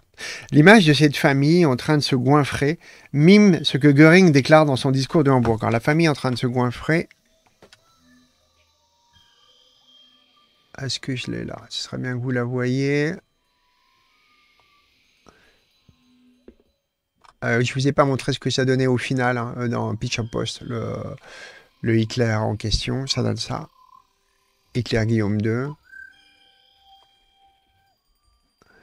Et la famille qui se goinfre, où est-elle? Où est-elle Où est-elle Où est-elle? Ah C'est là. Voilà. Ah, je vous la montre en gros plan. très connue celle-là.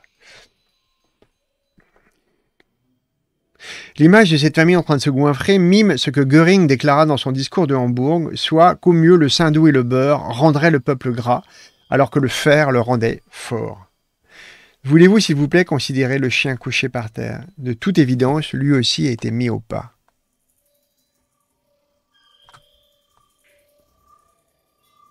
Tout le monde est mis au pas. Ah, il y a des détails.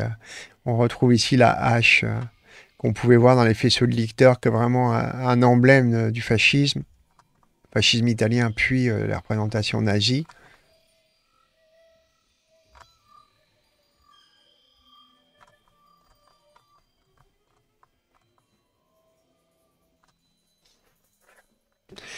Qui donc est cet homme, initiateur d'une nouvelle forme d'art? Sans doute, n'est-ce pas un hasard s'il fut le fils de parents déjà politisés?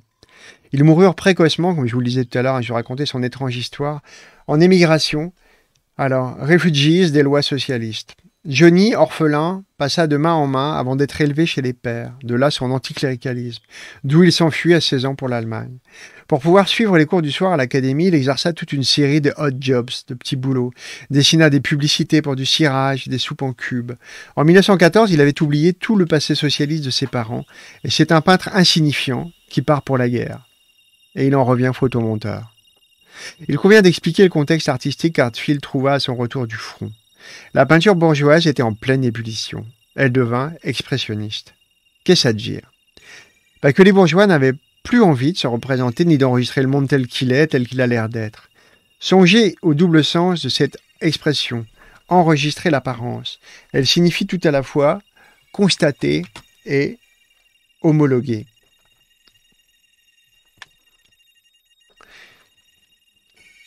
Mais beaucoup eurent du mal à, faire ce pas, apparemment si simple, qui transforme l'artiste figuratif en artiste politique. Bah, partons quand même du principe que l'artiste figuratif est toujours politique. C'est, comment dire? Si la question se pose en ces termes, alors celui-là même qui, en pleine guerre, ne tient aucun compte de l'existence de la guerre pour produire ses œuvres, et produit des œuvres qui inlassablement sont le reflet d'un rêve d'idéalité et d'éternité, euh, d'un certain état de nature ou de société que rien ne vient effleurer ou changer, il fait un acte politique. On est les premiers, euh, nous, gens de gauche, à affirmer, euh, sans aucun risque de se tromper, que être apolitique, c'est être de droite. Donc à partir de là, il faut bien prendre en considération hein, tout, euh, tout ce qu'on, toute la, la, l'ampleur du champ euh, de la question de art et politique, euh, qui fait que dans une conversation, un silence est une parole. Ah, c'est aussi simple que ça. Hein. Je ne vous apprends rien, je pense.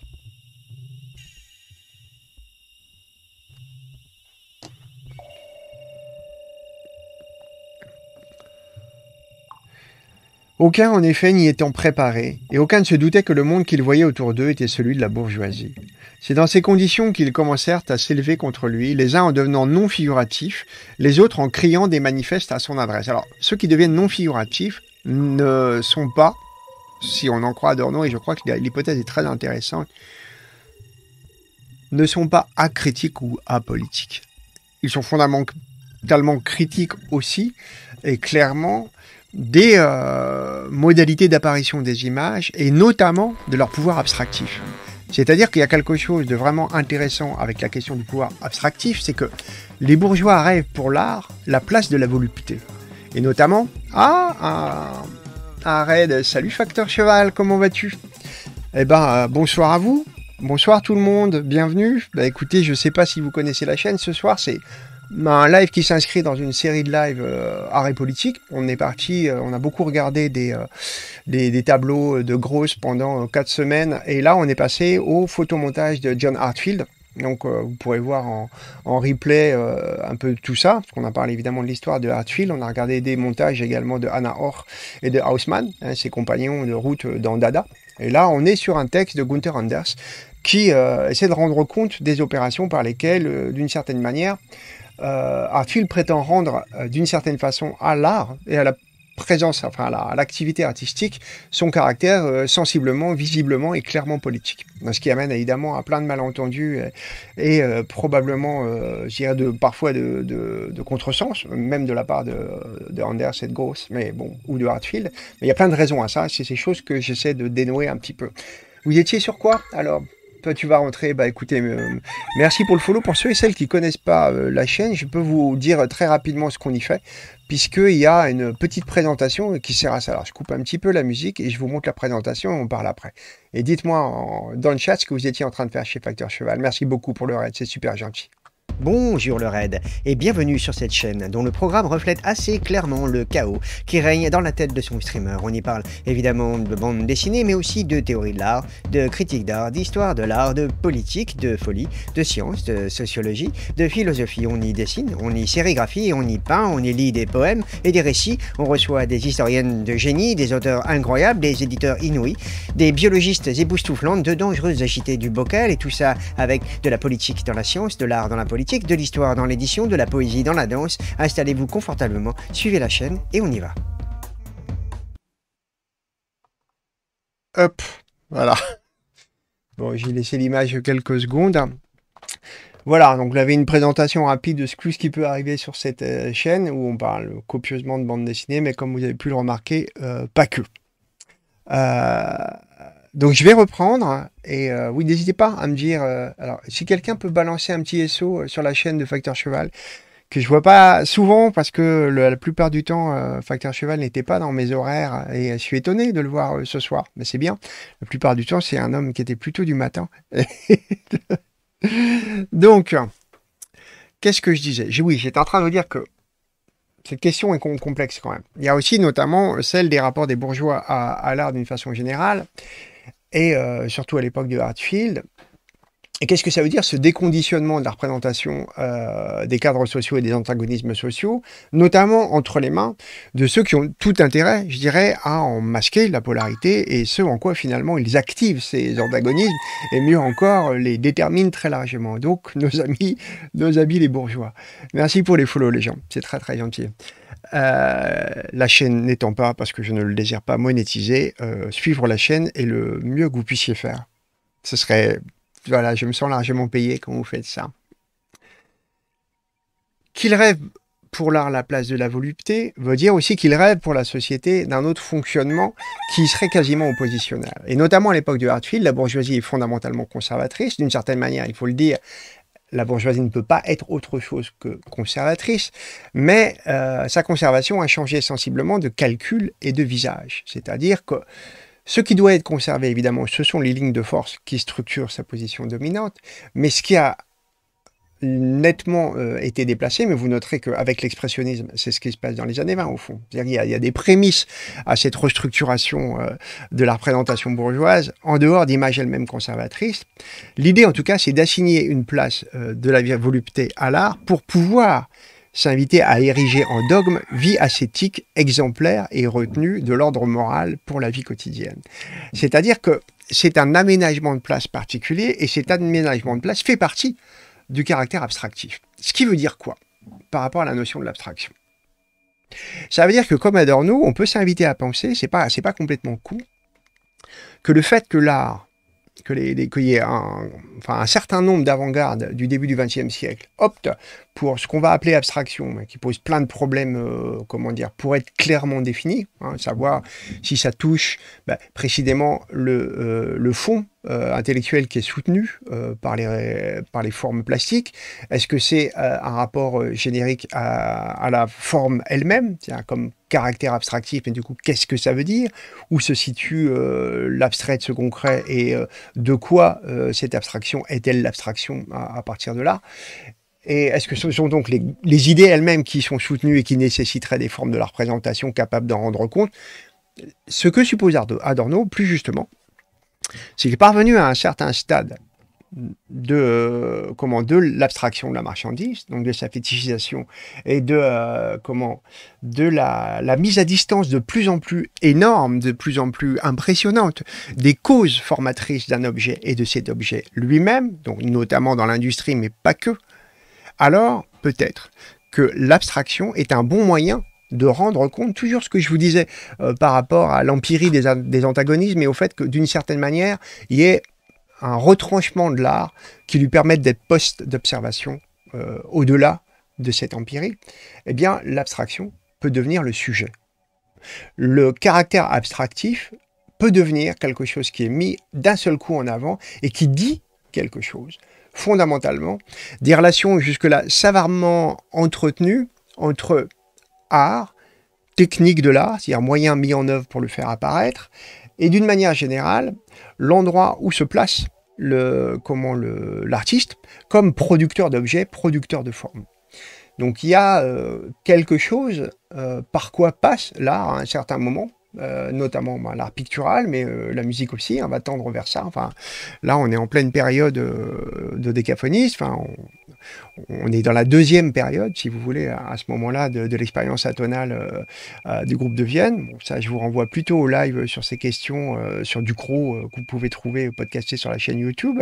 Eh bien, toutes ces expériences-là tentent de dire quelque chose d'un débarras finalement de, euh, de la sanctification d'une matérialisation pure des effets de cause, à savoir il y a un endroit du monde où il est bon de sanctifier la pratique de la peinture comme catégorie bourgeoise de la volupté, là où le prolétariat et la fabrique des objets est la chose placée sous le tapis, euh, vers quoi on, on, tendrait finalement à abstractiser complètement cette chaîne de cause pour en effacer les conditions matérielles d'apparition.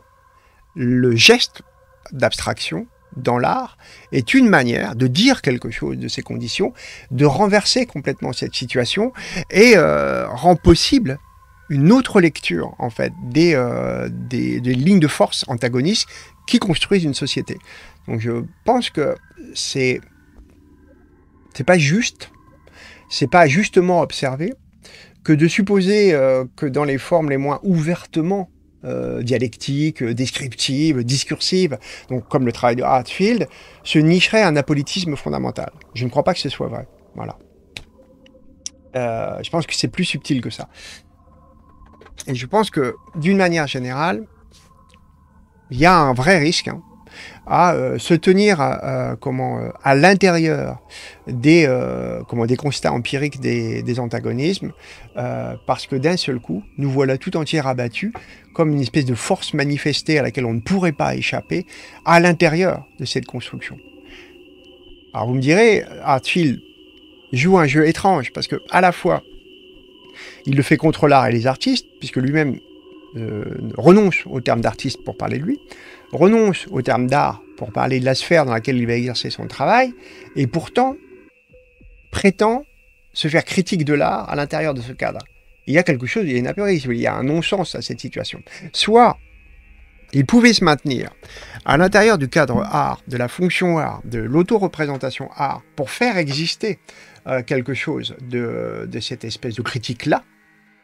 Et dans ce cas-là, il gagnait la possibilité de faire jouer les rouages de euh, ces difficultés comment dire, à, placer les, différents, les différentes postures, les, différents discours, à les escamoter ou au contraire à se mettre au service d'une prétendue neutralité, il pouvait les rendre sensibles. Mais là, en, faisant ce mouvement, qui consiste à s'en soustraire, il fait l'aveu, d'une certaine manière, aussi étrange que ça puisse paraître, hein, que pour pouvoir opérer ce travail-là, le travail politique qu'il fait, alors, ça n'est pas simplement au mot art qu'il renonce, mais en fait, il se soustrait tout entier de son champ. Et à partir de là, ça devient extrêmement ambigu de prétendre proposer un autre art en disant c'est pas de l'art. Il y a quelque chose qui sans cesse n'arrête pas d'être dit euh, dans le travail de Hartfield qui est de cet ordre-là, d'une espèce de contradiction euh, originaire de son travail. C'est une vraie difficulté qui me semble pas facile à résoudre d'un point de vue logique. Mais on comprend pourquoi elle existe d'un point de vue éthique. Hein, on est d'accord là-dessus. Alors donc, euh, à propos des bourgeois. C'est dans ces conditions qu'ils commencèrent à s'élever contre lui, les uns en devenant non figuratifs, les autres en criant des manifestes à son adresse. Mais chacun était son propre manifeste. Personne n'avait quoi que ce fût d'autre à proposer que lui-même. Ils commencèrent à s'exprimer de façon programmatique. Ils croyaient de la sorte extraordinairement révolutionnaire. Mais la fonction expressive elle-même souffre d'une tare réactionnaire. Elle n'est pas en mesure de produire davantage que ce qui est déjà là. L'expression ne modifie pas le monde. Alors effectivement, mais peut-être que c'est toute l'idée d'une... Euh, comment dire C'est l'idée d'une théorie de l'expression qui est peut-être falsifiée. Peut-être parce que c'est un héritage très ancien. Sur quoi repose la théorie de l'expression? Bah, Fondamentalement, elle, euh, elle tourne sur cette vieille idée grecque selon laquelle l'artiste est insufflé par quelque cause extérieure, supérieure à lui, euh, qui est susceptible de le faire agir. Cette chose va, je dirais, exploser comme une certitude en, plein, euh, en pleine période de l'idéalisme allemand, où là, la question d'une traversée du corps par l'esprit, une espèce de chose que Hegel serait bien en peine, euh, je dirais, de décrire lui-même, il préfère en décrire le comportement à travers l'histoire que de s'attacher quelques secondes que ce soit à nous dire c'est quoi putain l'esprit? Pour autant, est tenu pour vrai, euh, est accepté pour vrai l'idée de cette extériorité. Et du coup, toute l'idée d'une expression vise à s'emparer de quelque chose qui est là et à effectivement le faire jaillir, le faire saillir, de faire jaillir de l'étang là. Mais euh, c'est une erreur lexicale. Je veux dire, on va pas refaire Wittgenstein ce soir parce qu'on va faire ça dimanche, mais bon, c'est un procès du discours. C'est pas un procès de la pensée, si vous voulez, ou, de, l'action. Vous voyez toute la. Merci pour le, follow hein, euh, Lodenis. Vous voyez bien le comment dire, l'erreur de point de vue dans le procès qui est fait là consiste à faire descendre euh, d'un piédestal quelqu'un sur qui on l'avait fait grimper, faire descendre un sens d'un piédestal qu'on a construit soi-même. Et ce sens, on n'est pas obligé d'y souscrire. Donc théorie de l'expression, abus de langage. À partir de là, faisons-en de ce qu'on doit en faire, un pur abus de langage. D'accord? Alors, Tarchief, cette contradiction pourrait pas être dépassée en trouvant d'autres catégories que celle-là à parler de travail quand il s'agit de production de Hartfeld. Bah, de toute façon, on est d'accord sur le fait que.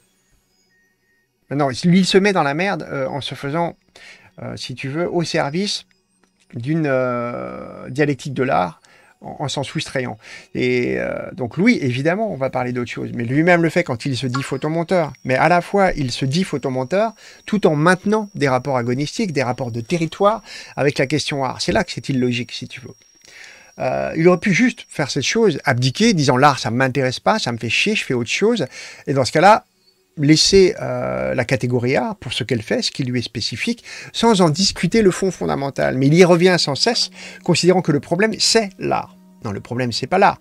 Le problème, c'est que ce qu'il veut faire se fait en dehors de la catégorie de l'art, se fait autrement. C'est un autre problème, on va dire. C'est une autre façon de penser la destinée des images, l'organisation des images et leur devenir. C'est là qu'il y a une vraie ambiguïté. Donc on ne peut pas résoudre la contradiction parce que d'une certaine manière, il s'y plonge lui-même tout le temps.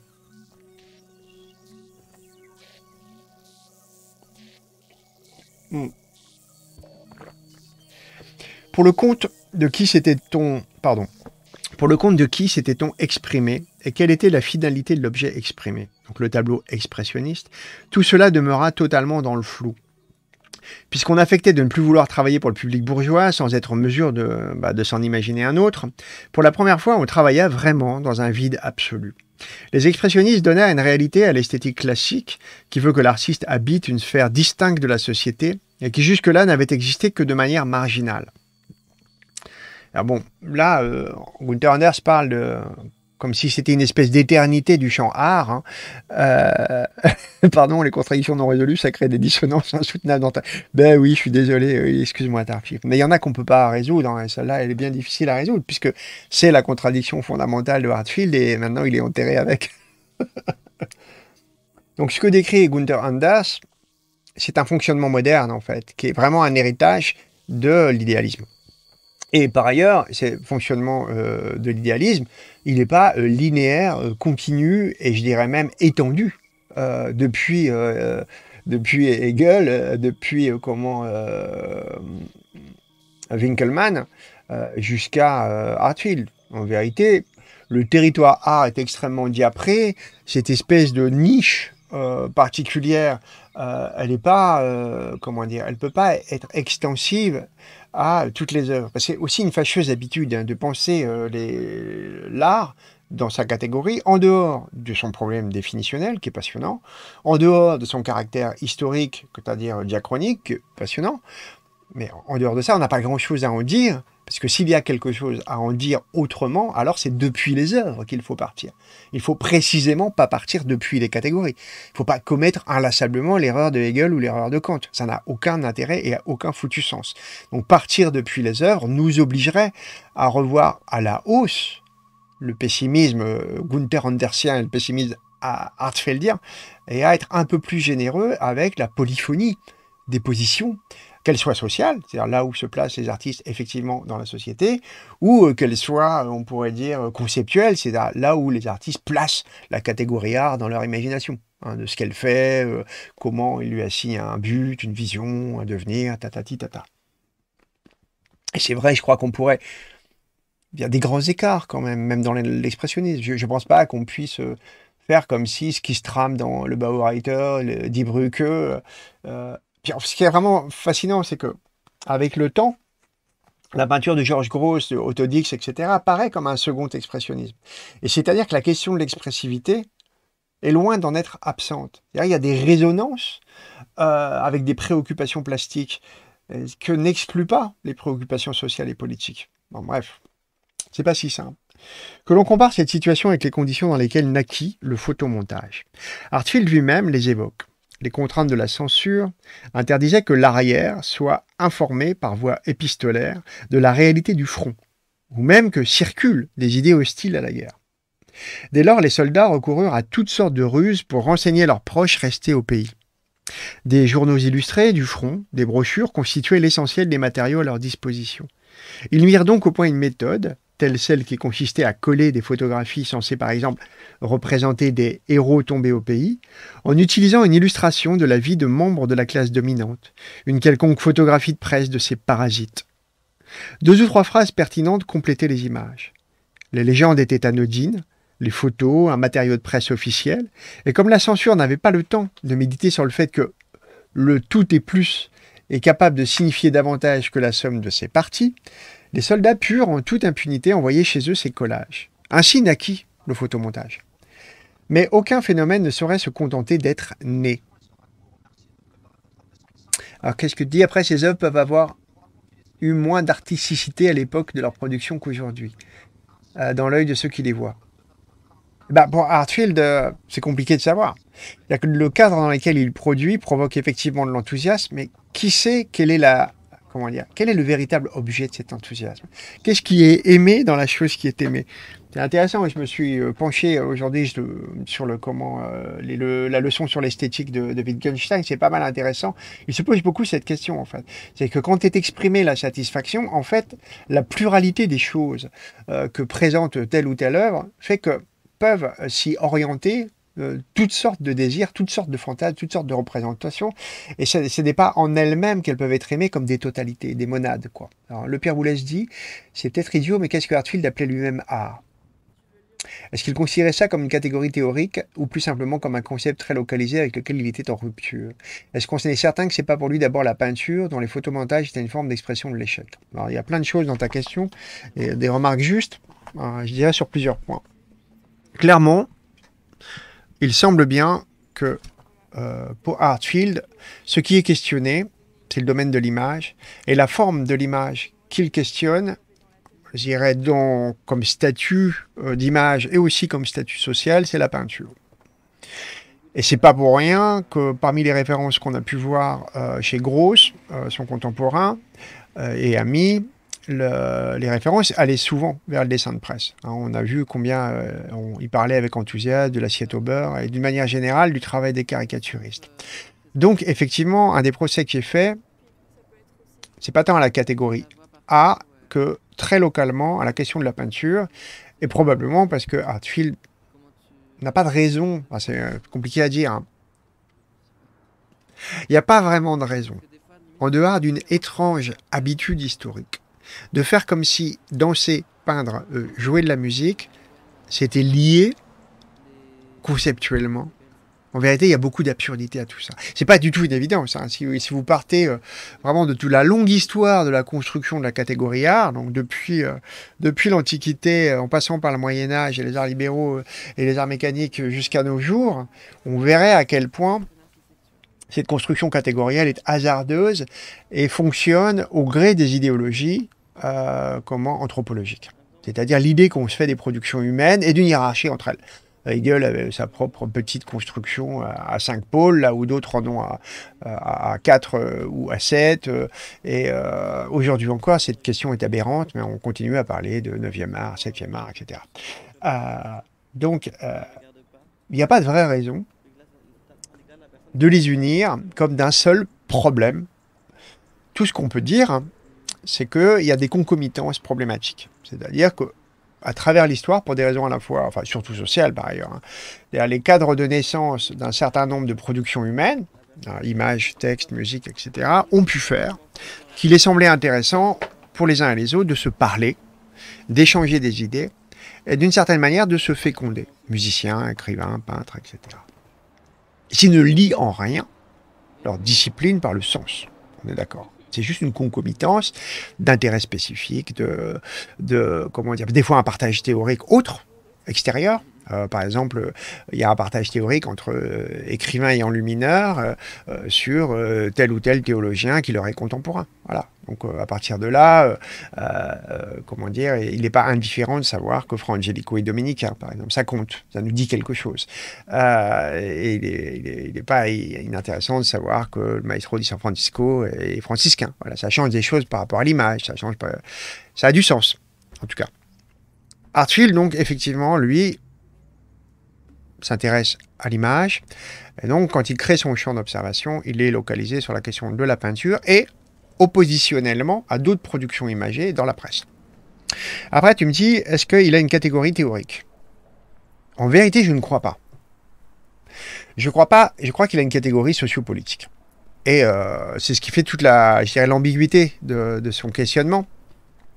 C'est que c'est comme si précisément une catégorie théorique n'était pas nécessaire pour penser là. Or, elle est tout à fait nécessaire. Sinon, on ne sait plus de quoi on parle.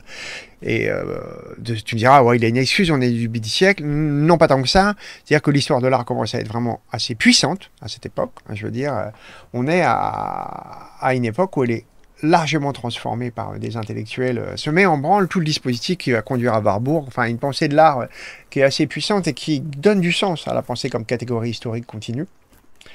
Euh, mais c'est pas le projet d'Artfield, c'est pas sa pensée du monde, et effectivement, il manque ça. Du coup, ça devient une, catégorie euh, sociale et politique, c'est-à-dire que sa catégorie, c'est pas l'art, c'est les artistes en fait. Il considère que l'art, c'est l'objet des artistes, que c'est l'objet idéal d'une certaine catégorie euh, sociopolitique euh, qui est le bras armé de la bourgeoisie. Donc il y a la création d'une espèce de simili-éternité qui n'a pas de sens d'un point de vue sociopolitique alors qu'elle a un sens d'un point de vue théorique. Et c'est bien là tout le problème. On ne peut pas superposer les deux, les, deux. Ça a du sens effectivement, de se demander ce qui se passe dans une espèce de long continuum étrange et plastique et mouvant euh, qui va conduire de la production euh, antique jusqu'à euh, aujourd'hui, je sais pas moi, jusqu'aux installations de Beuys ou jusqu'aux aux, fausses peintures de Lavier. Enfin, ça a du sens. Mais par contre, le penser comme catégorie sociale et politique, c'est un autre problème. Parce que ça, c'est pas éternel, c'est-à-dire que l'endroit euh, depuis lequel sont émises les images, depuis lequel sont émises les musiques, etc., c'est pas du tout un tout homogène et qui peut être facilement lisible avec une grande ligne de partage linéaire. Euh, là, ça fonctionne plus du tout. On est complètement dépossédé.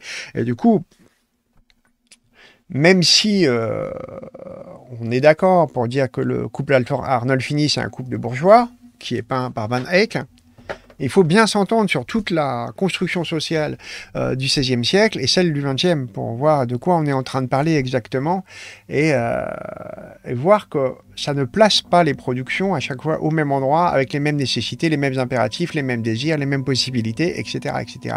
Il se passe un nombre considérable de choses et de déplacements, notamment dans l'histoire du XIXe où explosent les euh, je dirais, les localités, les, lieux de la société depuis lesquels se produisent des œuvres, depuis lesquels elles se pensent, depuis lesquels elles s'échangent.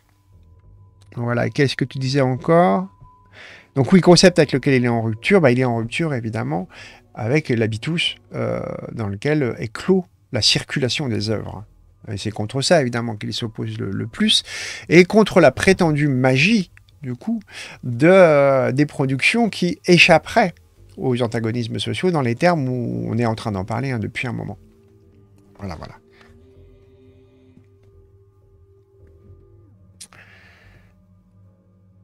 Alors, aucun phénomène ne se contente d'être né. Raconter comment Hartfield prit en main ce bébé qui n'avait pas encore plus qu'une farce de la poste aux armées, pour le transformer en une arme redoutable, un instrument repris par l'ensemble de la presse bourgeoise, l'ensemble de la technique publicitaire d'une économie fondée sur la concurrence et même par le fascisme, tout ça serait une histoire en soi. Ainsi, nous pouvons légitimement considérer Hartfield comme l'incontestable inventeur du photomontage. J'ai souvent entendu dire que l'engagement à gauche d'Hartfield relevait du pur hasard. Certes, personne ne nie qu'il est le plus doué de tous les photomonteurs, mais on voit en lui l'unique spécialiste à avoir mis cette nouvelle forme d'art au service de la lutte politique de gauche. Pour moi, cette théorie ne tient pas. Examinons d'autres photomontages en nous demandant où ils se trouvent et à qui ils sont destinés.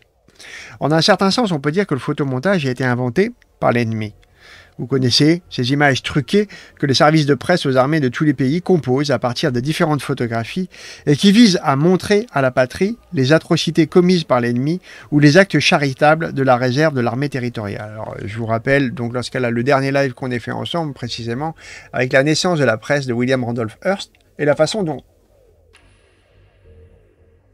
celui-ci a, pu produire en quelque sorte euh, autour de Cuba euh, une guerre euh, américano-espagnole. Euh, et comment il l'a alimenté avec des photomontages à partir de, ce bateau explosé, le Maine, dont on a pu observer ensemble les retouches, l'organisation, etc. Au plan technique, ces images sont de fait des photomontages, mais la différence entre eux et ceux d'Hartfield est absolument évidente. Jamais Hartfield n'affirme que Goebbels a vraiment mis une barbe de Max à Hitler. Il n'essaie pas de faire passer l'image pour une photographie authentique. Effectivement, il ne produit pas des trucages. Il met en avant de façon très lisible le photomontage comme photomontage. Les montages de guerre faits pour fabriquer de l'opinion et produire de l'enthousiasme considéraient que leur idéal était d'être montré de telle sorte qu'on l'on croit qu'il ne l'avait pas été, donc pour falsifier. Et on peut dire d'une certaine manière que les photomontages de Hartfield montrent la falsifiabilité fondamentale comme devenir photographique. Hein. Le mensonge et la mauvaise conscience transpirent des sutures de ces pseudo-photos. C'est ça, ce ne sont pas des montages en fait, ce sont des pseudo-photos.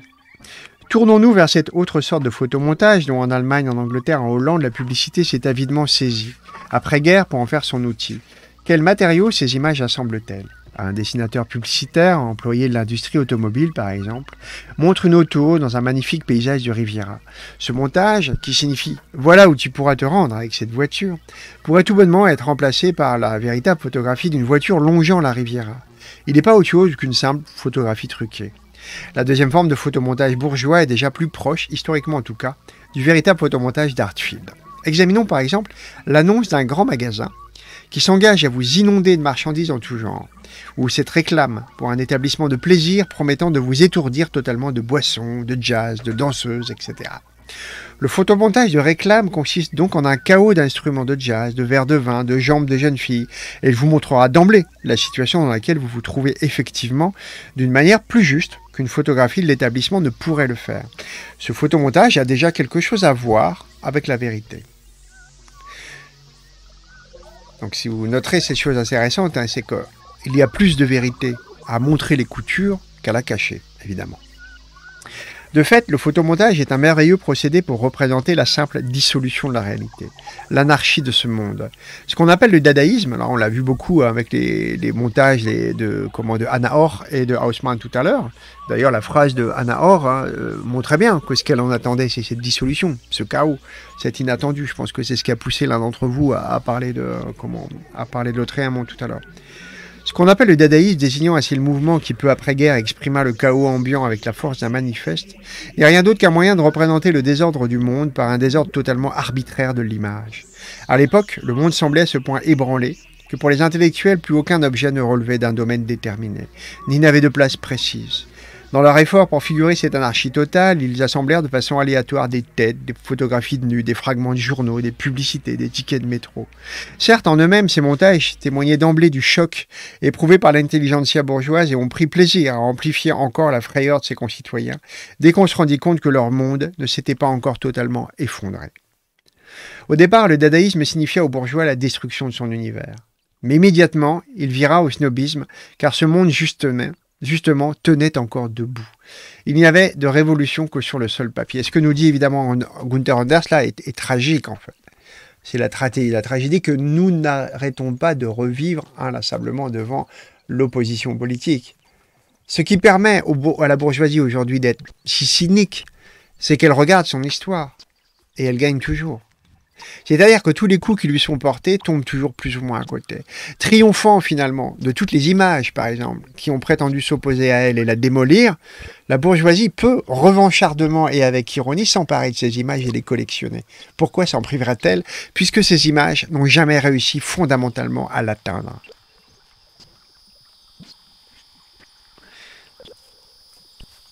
D'un point de vue historique, on ne s'étonnera pas qu'Archfield, qui au début à son retour du front était très proche du dadaïsme, l'abandonna dès l'instant où pour des raisons historiques ce dernier fut condamné au snobisme et rallia un mouvement plus vaste. Donc là on est en train de parler de Dada à Paris puis du surréalisme.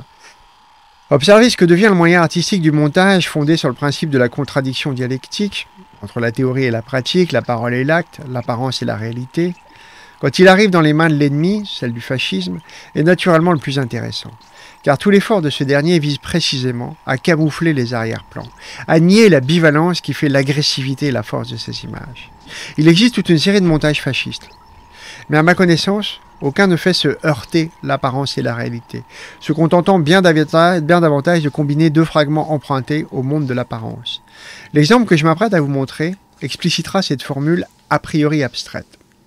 D'un côté, nous pouvons voir Mussolini, de l'autre, la foule des fascistes qui l'ovationnent. Alors hélas, je n'ai pas trouvé euh, comment euh, ce montage.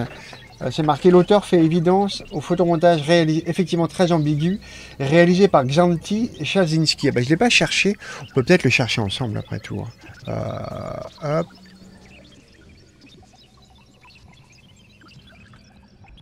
Je vais voir ça. Hop. Voyons ça.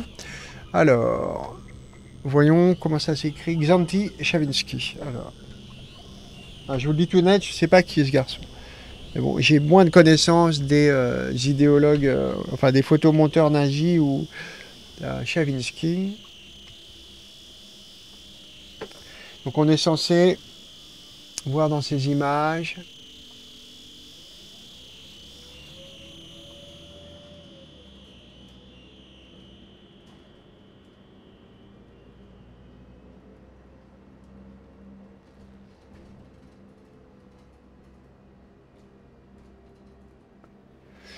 Alors, comment il le décrit? D'un côté, nous pouvons voir Mussolini, de l'autre, la foule des fascistes qui l'ovationnent. Donc là, on a un montage avec Mussolini, mais c'est pas ça. Je peux peut-être t'appeler Mussolini en plus. hein. Tout simplement. Et voyons ce qu'on voit. Il y a ça. Donc on a cette image-là. Est-ce que c'est ça?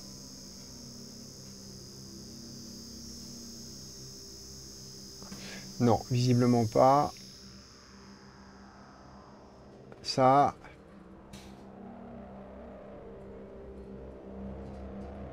Non. Ah, c'est ça. Ça doit être ça.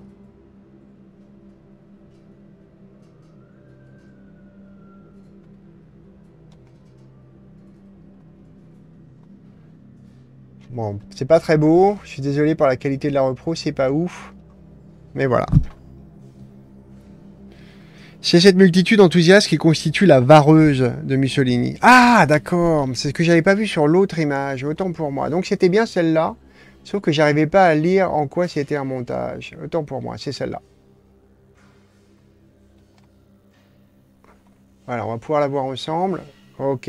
Ah oui, c'est vrai. Voilà.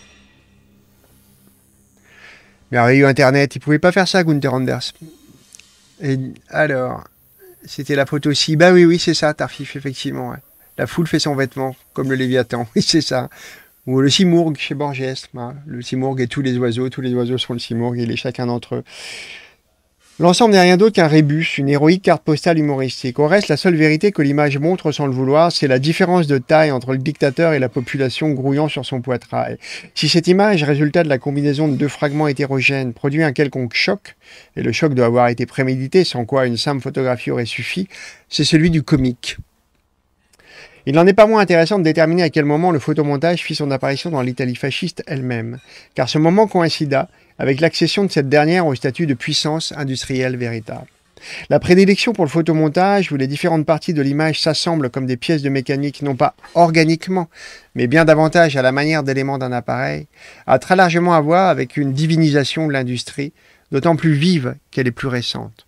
Le succès du photomontage en Russie s'explique de la même manière.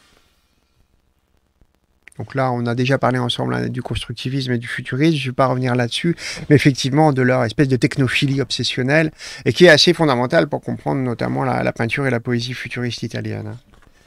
L'exemple italien montré précédemment devait nous éclairer quant au cadre étroit, qui seul rend le photomontage possible. Ce dernier sert à démasquer, non à glorifier. La collision dont ipso facto chaque photomontage est le lieu ne saurait servir d'invitation.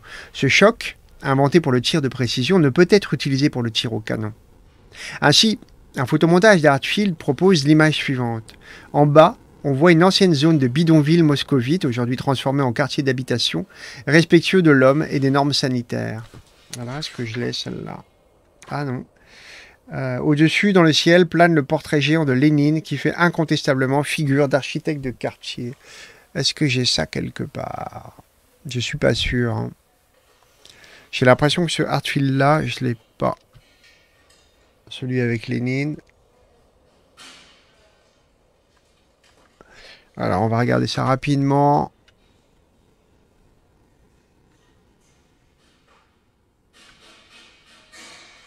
Non, là c'est.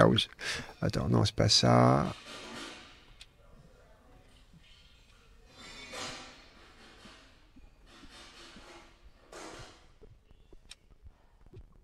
Ça c'est l'Expo Dada et ça c'est Anna. Oh non, je l'ai pas. Donc on va devoir se satisfaire de la description de Gunther Handa. J'en suis désolé. Ça fait pas partie des trucs euh, que j'ai pu récolter.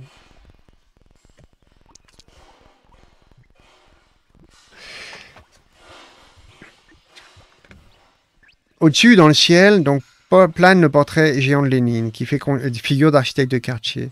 Mais la différence d'échelle entre ce portrait surhumain et la vue urbaine laisse immédiatement affleurer un conflit sur le plan du contenu. Malgré son expression amicale, Lénine semble menaçant.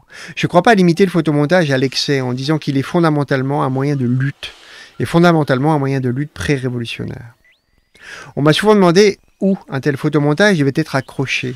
On ne peut en définitive s'en servir pour décorer les murs de sa chambre. Qu'un Goya, même très violent, puisse faire office de décoration murale, fut-elle diabolique, c'est envisageable. Mais quelle est la place sociale du photomontage? Cette question est absolument légitime.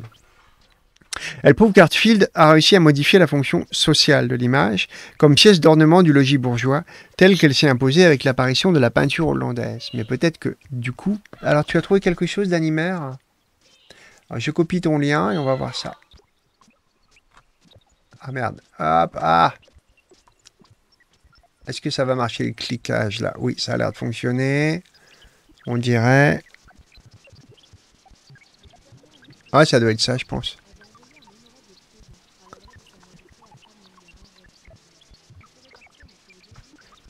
C'est probablement ça. Merci beaucoup, Danimer, très gentil.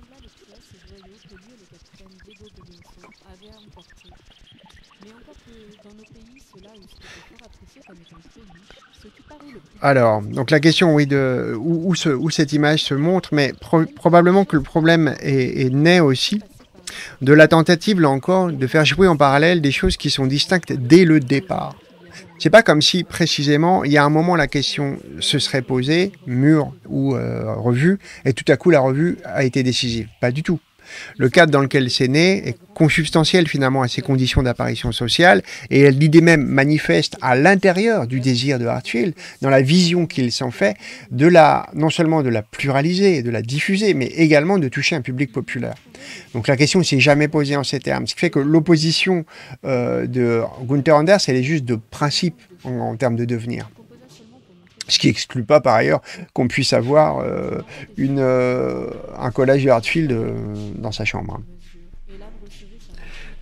Et de trouver atroce de vivre avec un Goya. Ces montages, au contraire, tendus vers une transformation du monde, n'ont en ce monde même aucune place sociale déterminée. Ni à l'église, ni au salon.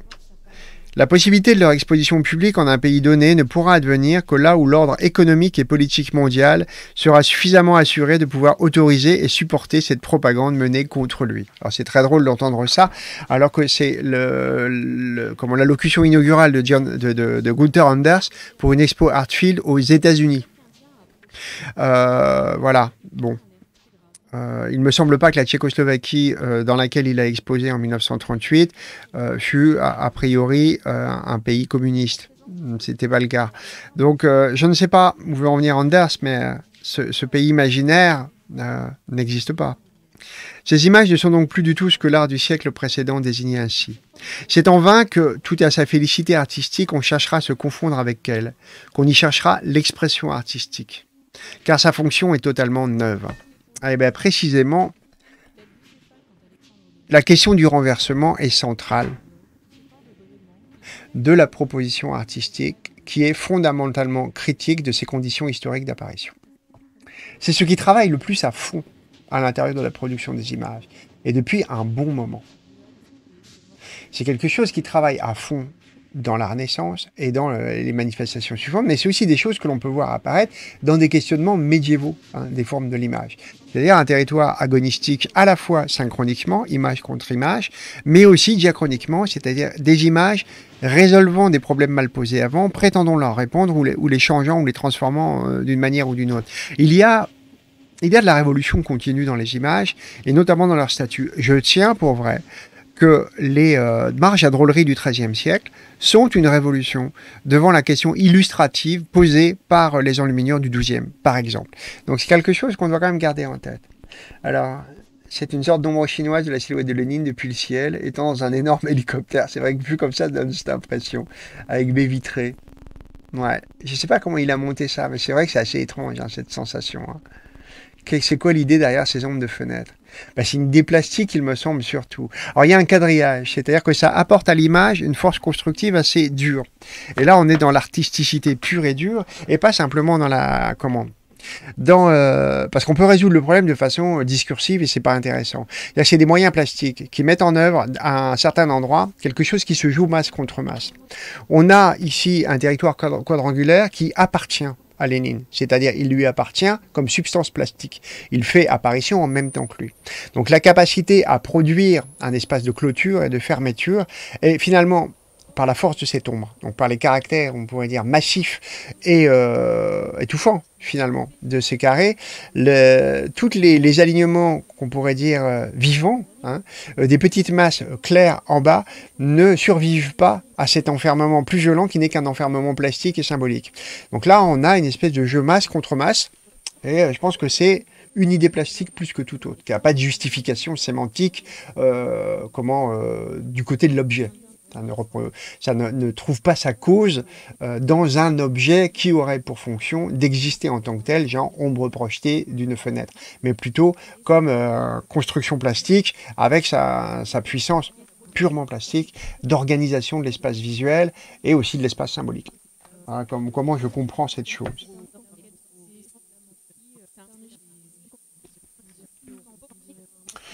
Donc non, moi je ne crois pas hein, que c'est en vain qu'on cherche l'expression artistique chez euh, Artfield. Nous, venons de le faire d'une certaine façon. Donc euh. Sa fonction est totalement neuve, donc ce qui ne rentre pas en contradiction euh, à la question de la, fonction de l'art, pour peu qu'elle soit saisissable et facile, parce qu'en vérité elle est aussi extrêmement historicisée. Hein.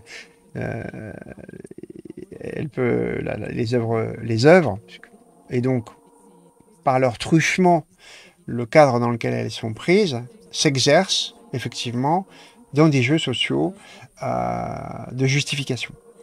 Ces justifications, on peut les appeler fonctions si on veut, et elles changent. Voilà, ça peut être des justifications magiques, par exemple, ça peut être beaucoup d'autres choses encore.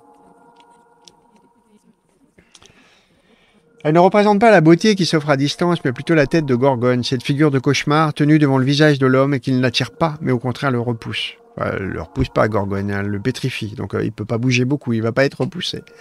Mais dans la vérité, cependant, cette nouvelle fonction implique que la différence entre l'original et la reproduction évidente durant des siècles n'est plus maintenant aucune raison d'être. Ce que vous voyez ici dans cette exposition, c'est ce qu'on appelle des originaux. Mais si irrespectueux que ça puisse ensemble, euh, sembler, j'affirme, les reproductions sont les originaux. Évidemment. Puisque c'était leur devenir. Gunther Anders a parfaitement raison. Euh, cette question pour un auteur de bande dessinée est exactement la même. L'original de la bande dessinée, ça n'est pas la planche. Il n'y a aucune raison de montrer une planche de bande dessinée sur un mur. C'est complètement con, ça ne sert à rien, ça n'a pas de sens. Une planche de bande dessinée est destinée à être imprimée et reproduite à l'intérieur d'un support quelconque. Ça peut être un livre, ça peut être projeté sur un mur ou un écran, mais son devenir n'est pas d'être un bout de papier foutu dans un cadre. Ça n'est pas ça l'original. Une photo interdit d'emblée qu'on se demande s'il s'agit ou non de l'original. Vouloir accrocher le négatif dans sa chambre relèverait du pur snobisme. Les images, telles qu'elles sont accrochées ici devant vous, n'ont pas le sens qu'Artfield leur a donné. Ce sens réside dans la reproduction. Les images sont en effet conçues pour la diffusion de masse. C'est leur finalité originale. Ainsi, ce que vous voyez ici, ce ne sont pas les originaux, mais les images dans l'avant-dernière phase de leur procès de production, avant leur achèvement définitif. Mais comment produit-on un tel photomontage? Au premier abord, ça peut paraître très facile. Et les prétendus originaux exposés ici semblent dire il suffit que tu découpes deux fragments dans un journal illustré et que tu les composes de façon surprenante.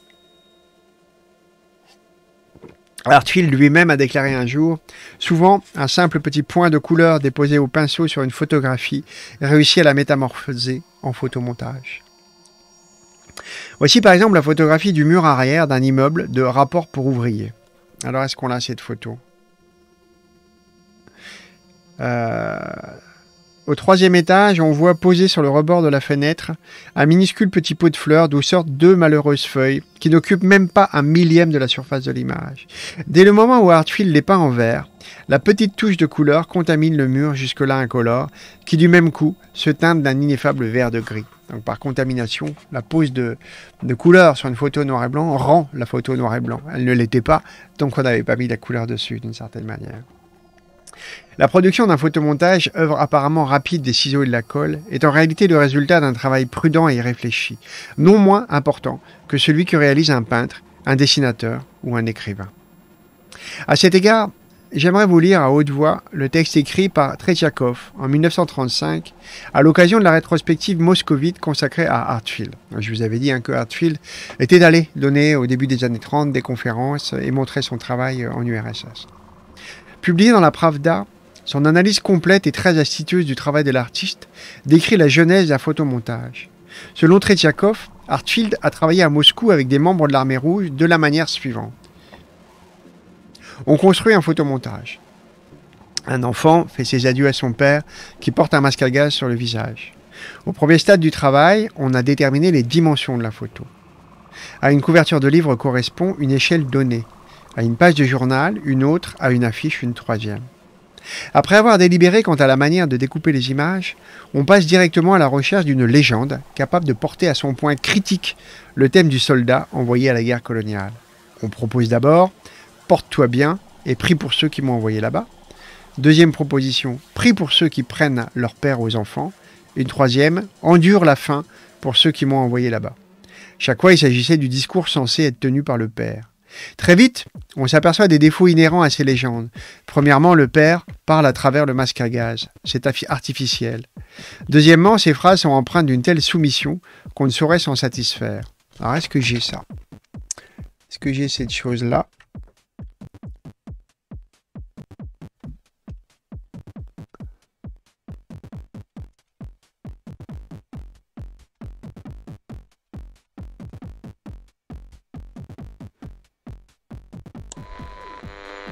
Salut à toi, Mister T. Merci pour le raid, comme c'est gentil. Comment vas-tu? Alors, je ne l'ai pas, celle-ci, semble-t-il. Non, ça s'arrête là. Et dada, ok.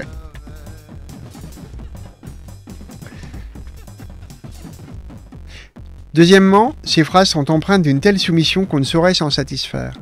Bienvenue à toi, et joyeux bonsoir à toi aussi. Troisièmement, leur tonalité est trop calme, trop édifiante dans la bouche d'un soldat qui part pour le front.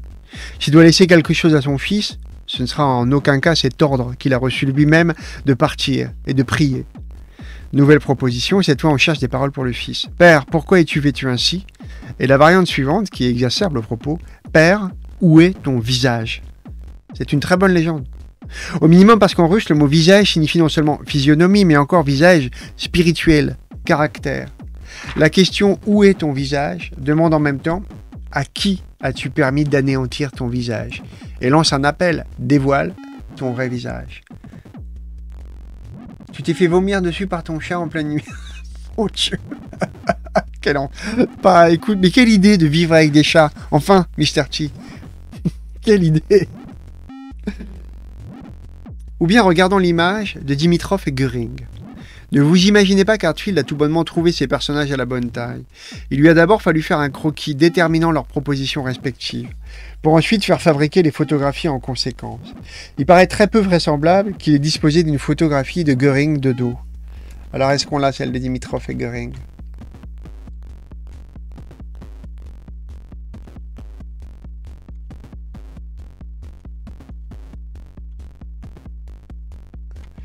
Ah, c'est embêtant. Ah, là, c'est Göring, par exemple. Mais euh, je crois qu'on l'a pas. Ah si, c'est ça. Ah ben oui, la voilà.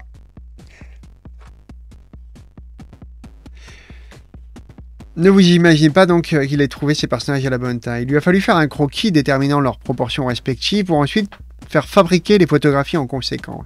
Il me paraît donc très vraisemblable qu'il disposait d'une photographie de Göring de dos. Peut-être même fut-il contraint de la fabriquer lui-même.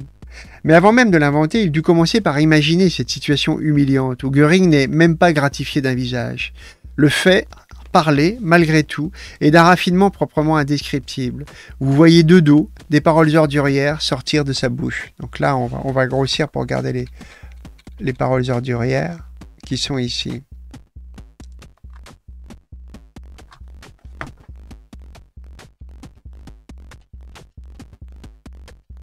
Ah, j'arrive pas à les lire.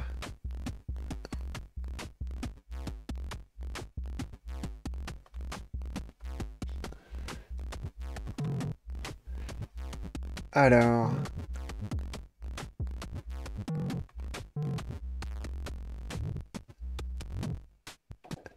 Alors, pour vous euh, donner euh, le, truc, euh, Dimitrov, donc c'est celui qui est accusé à comment? D'avoir incendié le Reichstag. Vous vous souvenez de l'anecdote de l'incendie du Reichstag? Et là, j'ai trouvé un petit article rend compte. Euh, en 1933, le bulgare Georgi Dimitrov est accusé d'avoir incendié le Reichstag à Berlin. Pendant son procès, il tient tête à Göring et Goebbels. Donc c'est ça qu'on est en train de voir. Hein. C'est euh, euh, sa façon de tenir tête à Göring et Goebbels pendant son procès. Attendez, je fais un petit truc parce que là, je vois pas bien le truc qui m'intéresse, c'est-à-dire ça. Voilà. Excusez-moi. Voilà. Donc il lui tient tête. Sa détermination met au jour une accusation montée de toutes pièces par le régime national-socialiste pour lancer la chasse aux communistes. Dans la nuit du 27 au 28 février 1933, le Reichstag, siège du Parlement allemand, est en feu. Sur place, la police arrête un jeune Hollandais, Marinus van der Lubbe, communiste internationaliste. Pour Hitler et Göring, il s'agit d'un moyen donc de se débarrasser des communistes. Donc voilà donc la photo euh, en question. Quelle habileté encore que la taille des Dimitrov soit si monstrueusement accrue qu'il en explose le cadre. Dans une certaine mesure, une image ne saurait le contenir. Quand Göring n'étant pas en comparaison digne d'y figurer véritablement, et n'est que brièvement cité à comparaître. Quelle idée grandiose encore que cette position inclinée de Dimitrov. Dans la photographie originale, c'est l'attitude typique de l'orateur intellectuel qui, tout en s'adressant au public, regarde cependant vers le bas pour rassembler ses pensées. Dans le montage, cette attitude acquiert une fonction complètement nouvelle. Göring se tient à présent dans la sphère d'influence de Dimitrov, dont la tête pèse au-dessus de lui, telle l'épée de Damoclès. La preuve est ainsi faite que, bien que les matériaux du photomontage, photos, ciseaux, colle, verbe, soient à la disposition de tout un chacun, leur utilisation n'est pas à la portée de tout le monde. C'est très très drôle de voir Gunther Anders aller là-dedans, parce que ça me semble en parfaite contradiction avec tout ce qui a été dit jusque-là sur la volonté de soustraire, bonne nuit à toi, de soustraire euh, complètement euh, Hartfield, Anders, Gross, Herzfeld, de la préoccupation euh, assignée habituellement à la position de l'artiste. Et c'est extraordinaire que ça repasse par la notion du faire. C'est-à-dire, subtil mélange d'ingéniosité, mais également mis en œuvre ici par Gunther Anders, les capacités techniques à répondre à une situation donnée. Je pense que là aussi, il y a un aveu d'impuissance, en fait, à s'extraire complètement des catégories de la sanctification habituelle de la position art et de la position artiste. Et euh, je dirais pas que c'est dommage, je pense que c'est trahison à l'intérieur du texte d'un problème qui ne devrait pas apparaître à cet endroit-là. Il n'y a aucune raison dans cette allocution en 1938 de cette exposition qui, de toute façon, célèbre le travail de Hartfield euh, à New York, d'un seul coup, de justifier le photomontage au nom d'arguments qui appartenaient jusque-là à l'incroyable justification de la longue histoire de la sanctification du travail artistique bourgeois par deux caractères, le talent et le savoir-faire. Vous voyez tout le problème euh, auquel euh, se confronte d'un seul coup Anders sans s'en rendre vraiment compte. Quiconque ne sait que découper, coller et parler avec des ciseaux, de la colle et des mots ne doit pas se risquer à cet art politique. On doit pouvoir dessiner avec des ciseaux, de la colle et des mots. Et l'on doit savoir dessiner ses victimes comme Dieu a dessiné Cain, pour qu'il garde en définitivement sa marque. John Hartfield sait le faire. Johnny Hartfield a le verbe. Voilà, voilà, voilà. Bah écoutez, on a, euh, on a fait le job, on a lu l'intégralité euh, de ce livre, ce qui est quand même pas rien. Donc je rappelle ce qu'il est, euh, ce bouquin. attendez, hop.